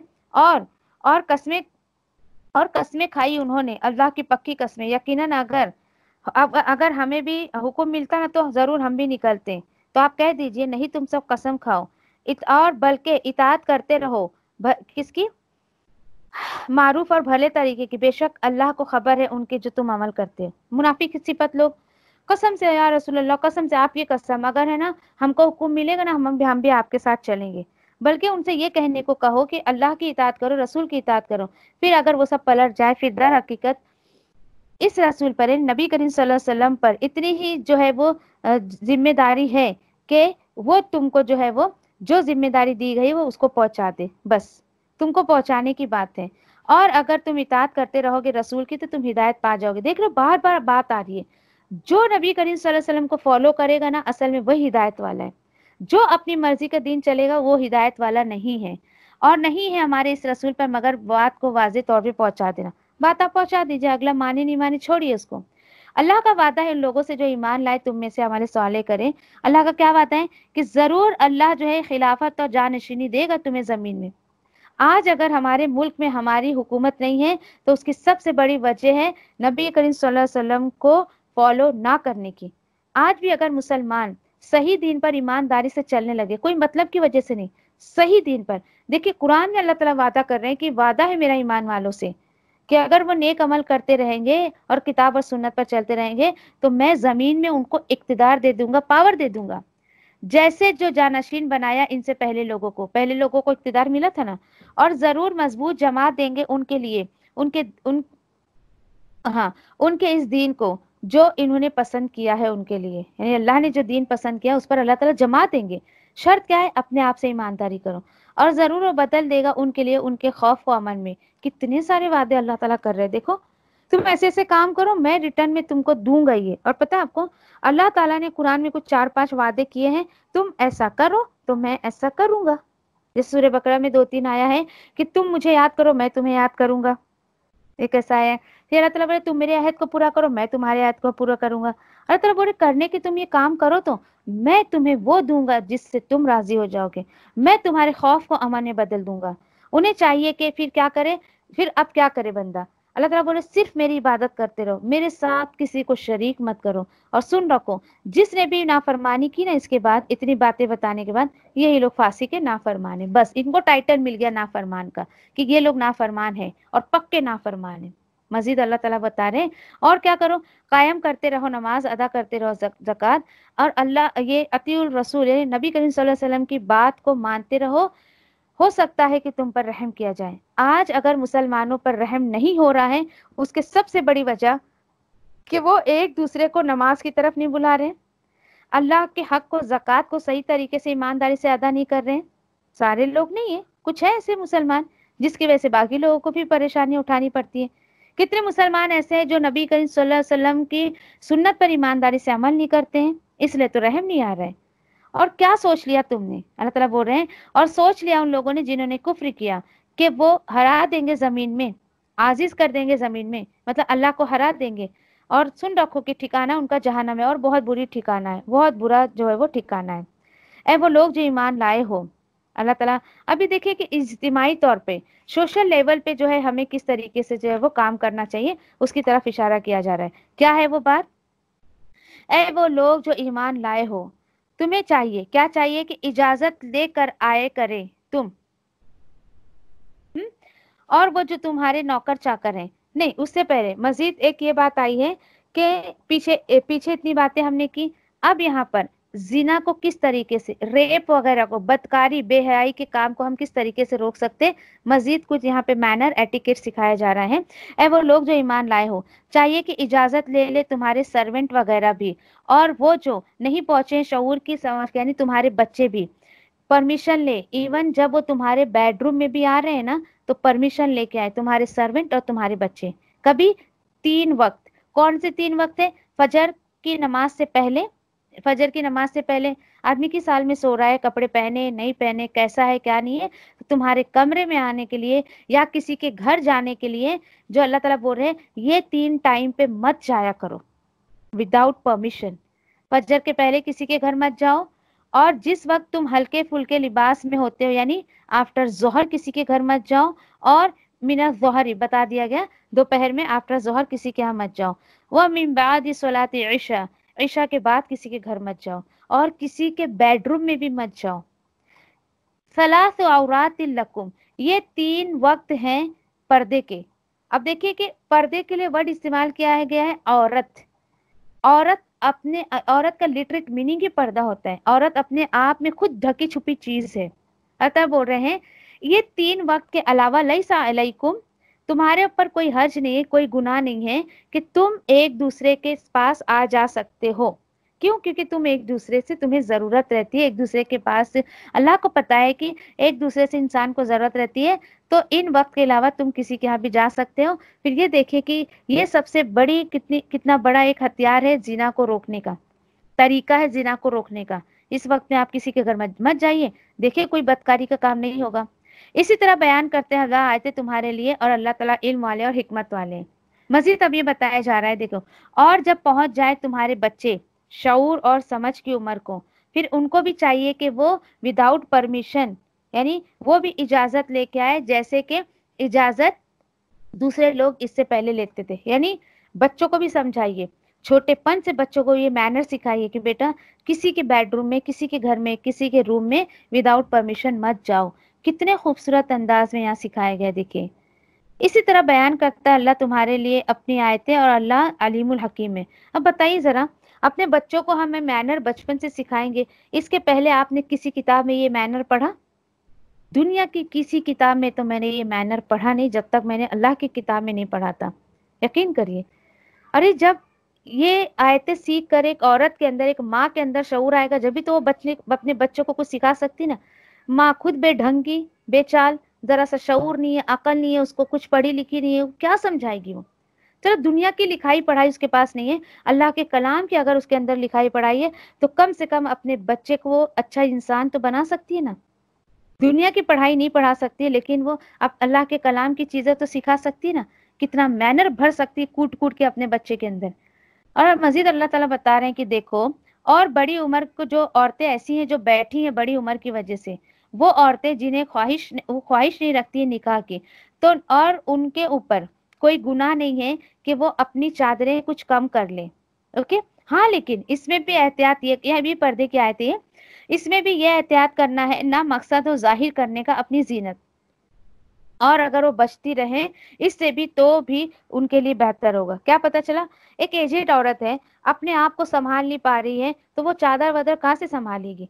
तो अल्लाह ताला ने एक बड़ी उम्र की औरत को जिसको अभी जिसके अंदर कोई अट्रैक्शन बाकी नहीं ना उसके चेहरे में ना उसके सीने पे ना उसकी फिगर में ऐसा कोई अट्रैक्शन नहीं है कि कोई मर्द उसको निगाह के लिए ना ऑफ़र करे ठीक है? तो ऐसी औरतों को ना उसको नज़र आ रहा सही से तो अल्लाह ताला बोल ठीक है कि अगर वो आ, आ, पर्दे में से यानी चादर वगैरह जो पर्दे के लिए नकाब वगैरह जो लेते हैं वो कम कर दे तो ठीक है इट्स ओके अल्लाह ताला बोल रहे उसके ऊपर कोई गुना नहीं होगा। उस पर भी अल्लाह ताला बोल रहे हैं कि देखो, वो चादर जब कम करे तो उसकी जीनत ज़ाहिर नहीं होनी चाहिए। फिर भी उसको अपना सीना वगैरह थोड़ा बहुत ढांक कर चलना चाहिए। फिर अब ये नहीं कि मुझे परमिशन मिल गई तो लाली लिपस्टिक पाउडर पॉन्ड्स पाउडर ये वो सब लगाकर बाहर जाऊँ मैं? नो ऐसा नहीं करना चाहिए उसको। हाँ लेकिन अल्लाह ताला बोल रहे हैं वह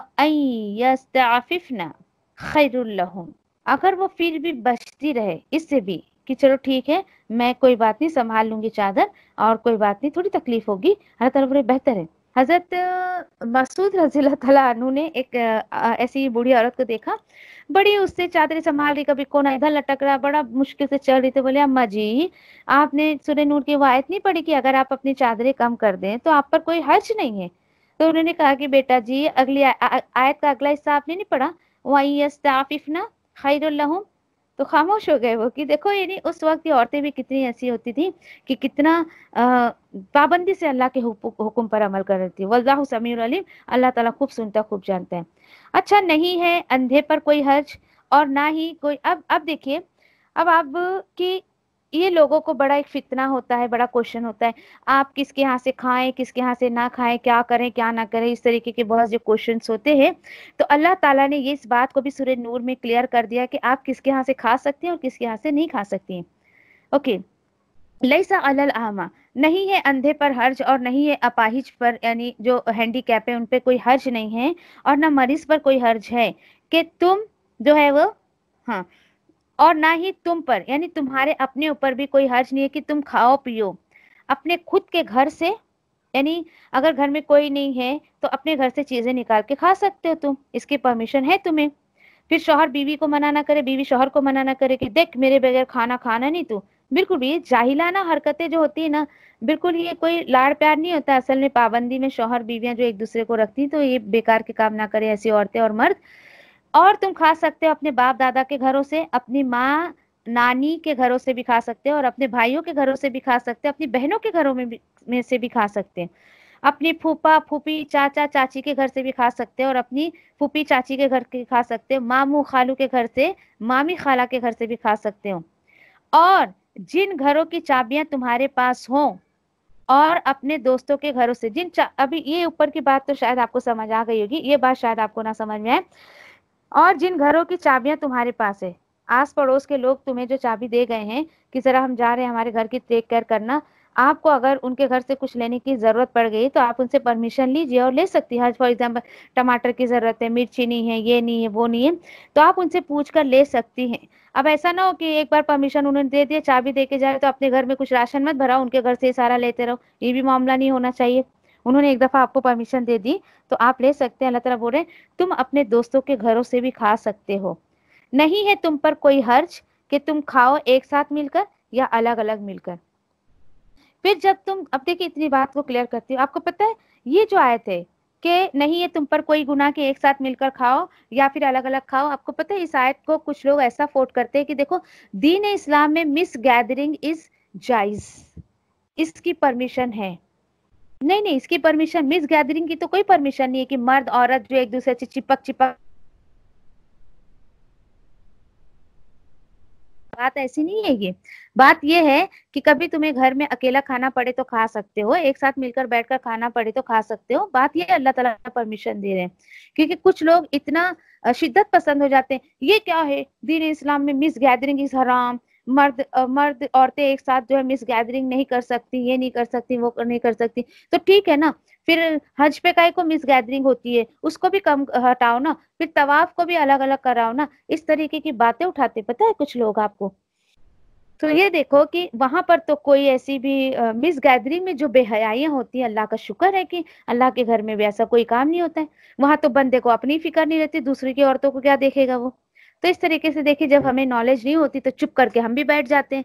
और जब हमें नॉलेज होती है तो ऐसे लोगों को फिर मुँह तोड़ जवाब भी दे सकते हैं तो देखिए दीन की कम से कम इतनी नॉलेज तो अपने बच्चों को आप दीजिए खुद भी रखिए कि अल्लाह के कलाम पर कोई उंगली उठाए तो आप उसको जवाब तो दे सकती हैं। मजीद अल्लाह ताला बता रहे हैं बहुत अच्छा मैनर है और इसको सिखाइए अपने घर वालों को भी।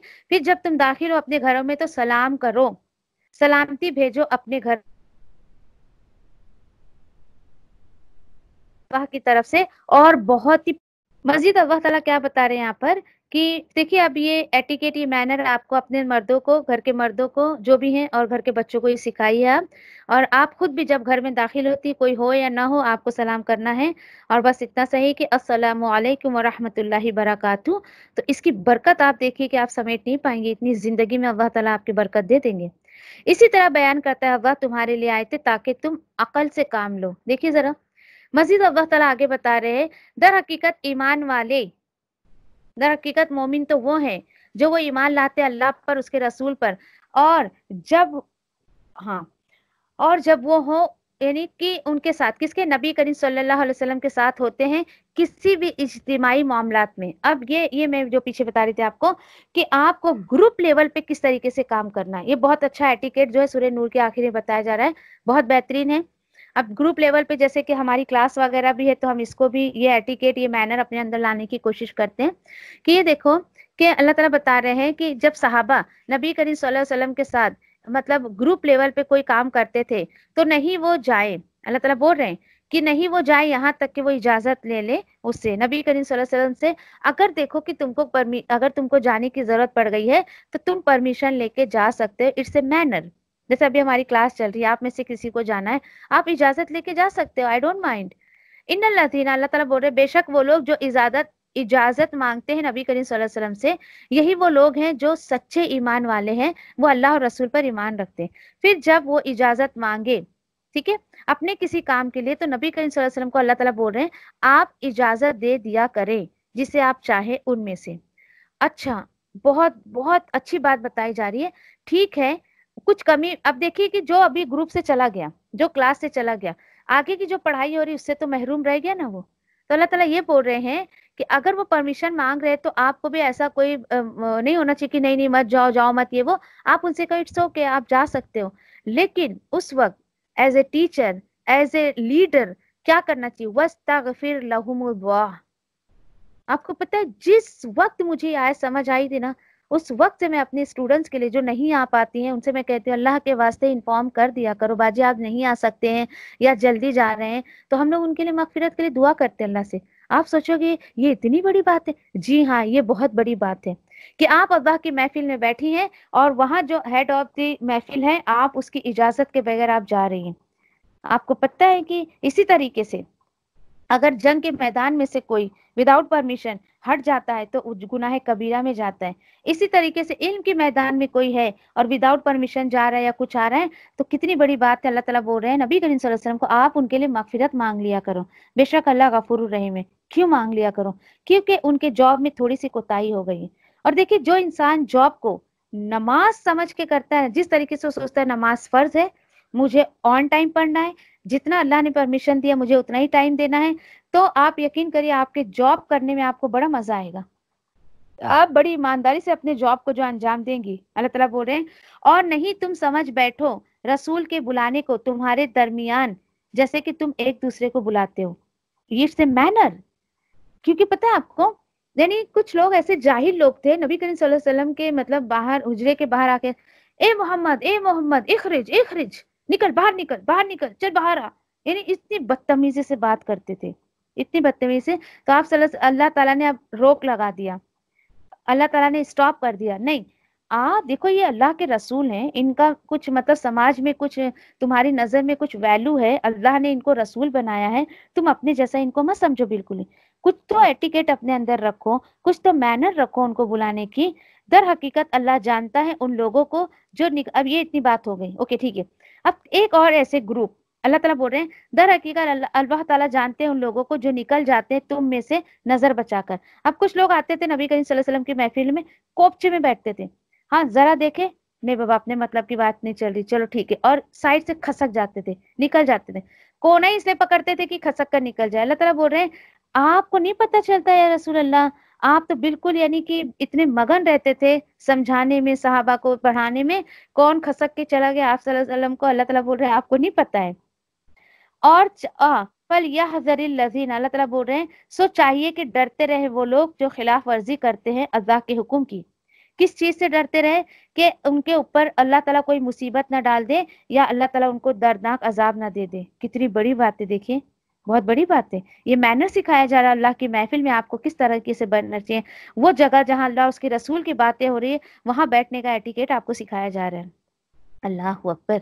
अल्लाह ताला बोल रहे खूब सुन रखो इन माफ़ी समावाती वल अर्द। अल्लाह ही का है जो आसमानों में, जो ज़मीन में। दर हकीकत वो जानता है जो, और तुम नहीं जानते हो उसको। ठीक है? कि किस हाल में हो।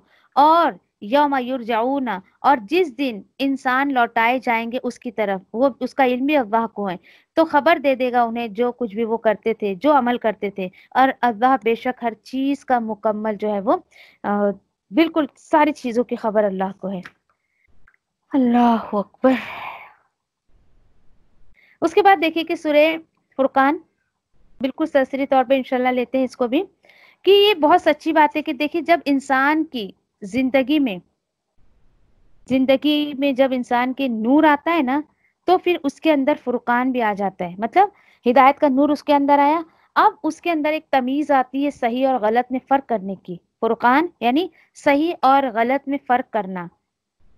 अब ये देखिए कि इसमें, इस सूरत में बहुत ज़्यादा आपको जो है, तकदीर पर ईमान जो होता है ना, वो बहुत ज़्यादा आपको आयतें मिलेंगी कि इंसान को तकदीर पर उसका ईमान ठुक जाता है।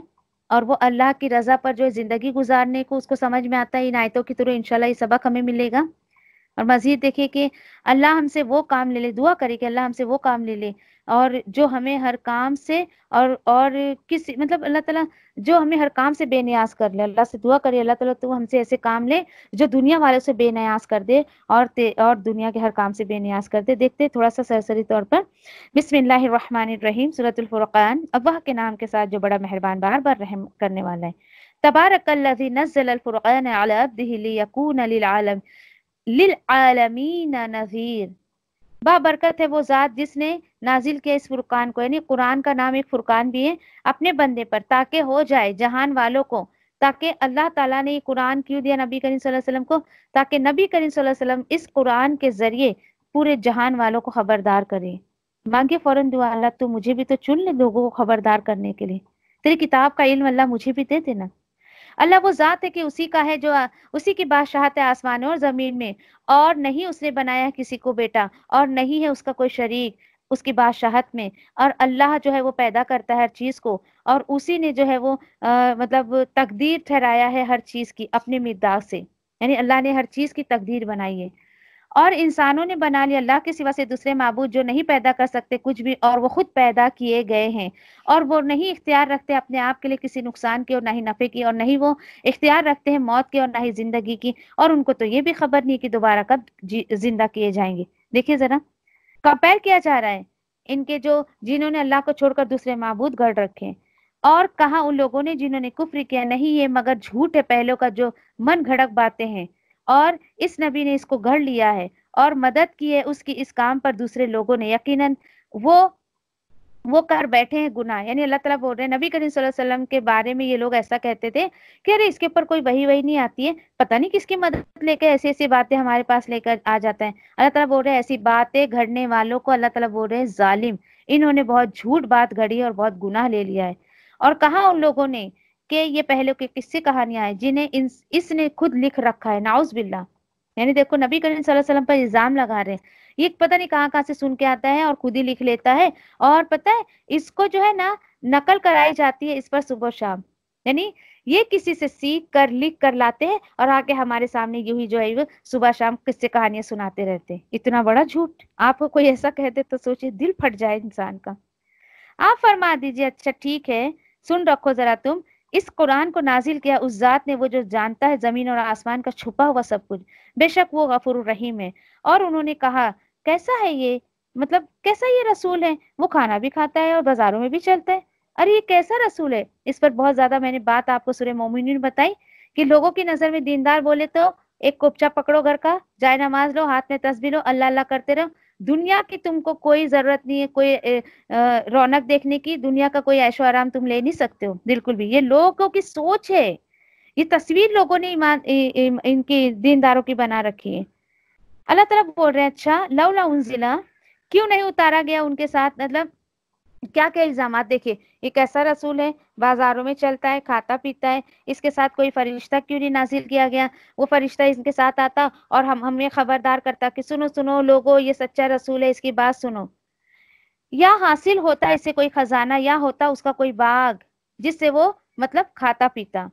और कहा गुनेगारों ने, अल्लाह तला बोल रहे जालिमों ने कहा कि नहीं तू पीछे नहीं तुम पीछे चल रहे मगर एक ऐसे शख्स है जिसको जादू कर दिया गया नाउस बिल्ला नबी करीम वसल्लम को बोलते थे इसके ऊपर किसी ने जादू कर दिया? इसलिए ये जन्नत जहन्नम आखरत ऐसी सब चीज़ों की बातें कर रहे हैं। अस्तगफिरुल्लाह। देखिए किस तरह ये लोग बयान कर रहे हैं। नबी करीम सल्लल्लाहु अलैहि वसल्लम के लिए मिसारे गुमराह हो चुके हैं ये लोग फिर नहीं है इत, इनमें इतनी भी ताकत के वो सही रास्ते पर जा सके। बाबरकत है वो जात अगर वो चाहे तो वो बना दे। नबी करीम वसल्लम के लिए बेहतर उससे ऐसे बागात जारी हो, उसके नीचे से नहरें। वो बना दे आपके लिए बहुत सारे महलात। हकीकत यह है कि उन्होंने, जिन्होंने झुटला दिया है ना कयामत की घड़ी को तो कोई बात नहीं, अल्लाह तला बोल रहे, आओ, मैंने तैयार कर रखी तुम्हारे लिए। हर उस शख्स के लिए जो झुटलाता है, कयामत की दहकती हुई आग अल्लाह ताला ने उसके लिए तैयार कर रखी है। और जब तुम देखते हो उनको दूर की जगह से तो ये लोग सुनेंगे उसको जोश मारना, यानी कि कयामत की, उस दहकती हुई आग की बात की जा रही है और वो जोश मार रही होगी, भड़कती हुई होगी वो। और जब ये लोग डाले जाएँगे उसमें, इंतहाई वो जगह बिल्कुल तंग होगी वो जगह, और जकड़े हुएँगे, ये लोग पुकारेंगे वहाँ पर मौत को। अल्लाह मौत दे दे, मौत दे दे। अल्लाह ताला बोलेंगे, कहा जाएगा उनसे, नहीं, तुम पुकारो आज के दिन एक भी मौत को, बल्कि पुकारो बहुत सारी मौतों को। तुम इनकार करते थे ना इसका? देखो, आज तुम्हें ये चीज़ें जो मिलकर रह गई है। आप पूछिए जरा, क्या ये बेहतर है? ये जो इन लोगों को मिल रही है, जो ये मेरी नाफरमानी कर रहे हैं तो जरा पूछो इनसे, ये चीज़ बेहतर है या वो हमेशा की जन्नत बेहतर है जिसका वादा मुत्तकियों से अल्लाह ने किया है? कानत लहम जजा व मसीरा। जन्नत ही होगी उनके लिए इनाम, आखिरी मकाम। उनके लिए वहाँ पर वो जो चाहेंगे हमेशा मिलेगा।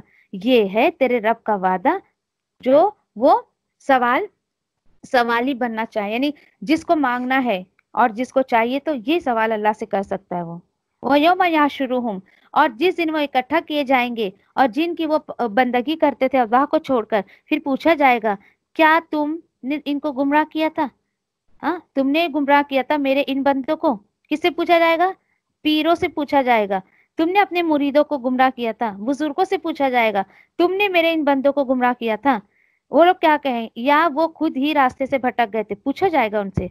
वो सब जवाब देंगे, अल्लाह पाक है तेरी जात। नहीं थी हमारी मजाल, हमारी कोई इतनी मजाल नहीं थी कि हम बना लेते आपके सिवा किसी को वली। और लेकिन साजो सामान तूने जो इनको दिया ना, इनके बाप दादा को, यहाँ तक के उन्होंने भुला दिया आपकी नसीहत को और हुई ये कौम बर्बाद। क्या पता चला? जो लोग दुनिया में वली को पुकारते हैं, वली आखिरत में इनकार करेंगे कि अल्लाह तला हमें नहीं पता, ये हमको पूछते थे। इनके, ये हमको तो इसलिए पूछते थे कि तूने इनको इतना साजो सामान, इतना ऐशो आराम दे दिया कि तुझे भूल कर दूसरों के पीछे पड़ गई है और उसी में खुश खुशो खर्रम रहने लगे। अल्लाह तला बोल रहे हैं यकीन उन्होंने झुटला दिया इस बात को, जो वो कहते थे। हम्म। फिर नहीं उनकी ताकत होगी सजा को हटाने की। उनको कोई ताकत नहीं होगी कि सजा को हटा सके और ना ही उनकी मदद की जाएगी।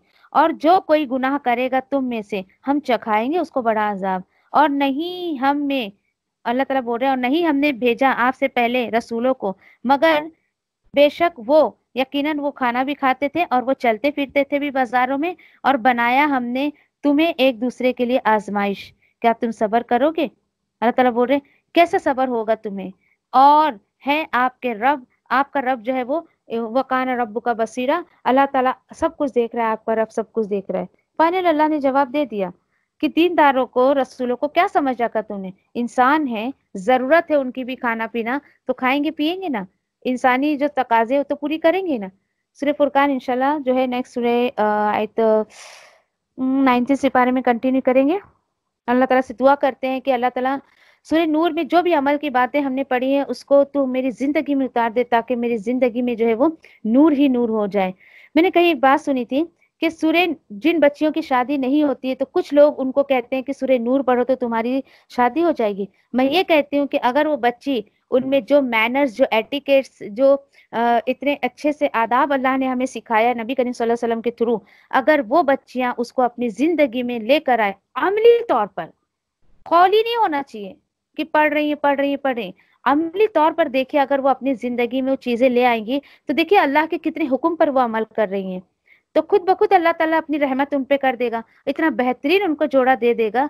तो देखिए, उसको पढ़ने से ज़्यादा, उसको समझने की और उस पर अमल करने की तो जो है वो तौफीक मांगे अल्लाह से और ज़्यादा ज़रूरत है कि ये देखिए कि किताब को वजीफे का ज़रिए मत बनाइए, ये अमल के लिए अल्लाह ने भेजिए समझ कर अमल करिए। अल्लाह ताला मुझे और आपको तोफीक दे इनशाला व आखिर दावान अलहमदिल्ला रबालमीन सुबहान अल्लाह व बिहमदिही सुबहानक अल्लाहुम्मा व बिहमदिका नशहदु ला इलाहा इल्ला अंता नस्तगफिरुका व नतूबु इलैक सुबहान रब्बिका रब्बिल इज्जति अम्मा यसिफून व सलामुन अलल मुरसलीन व अल्हम्दुलिल्लाहि रब्बिल आलमीन बिरहमतिका या अरहमर राहिमीन रब्बना तक़ब्बल मिन्ना इन्नका अंतस समीउल अलीम वतुब अलैना इन्नका अंतत तव्वाबुर रहीम आमीन या रब्बल आलमीन जज़ाकुमुल खैर वस्सलामु अलैकुम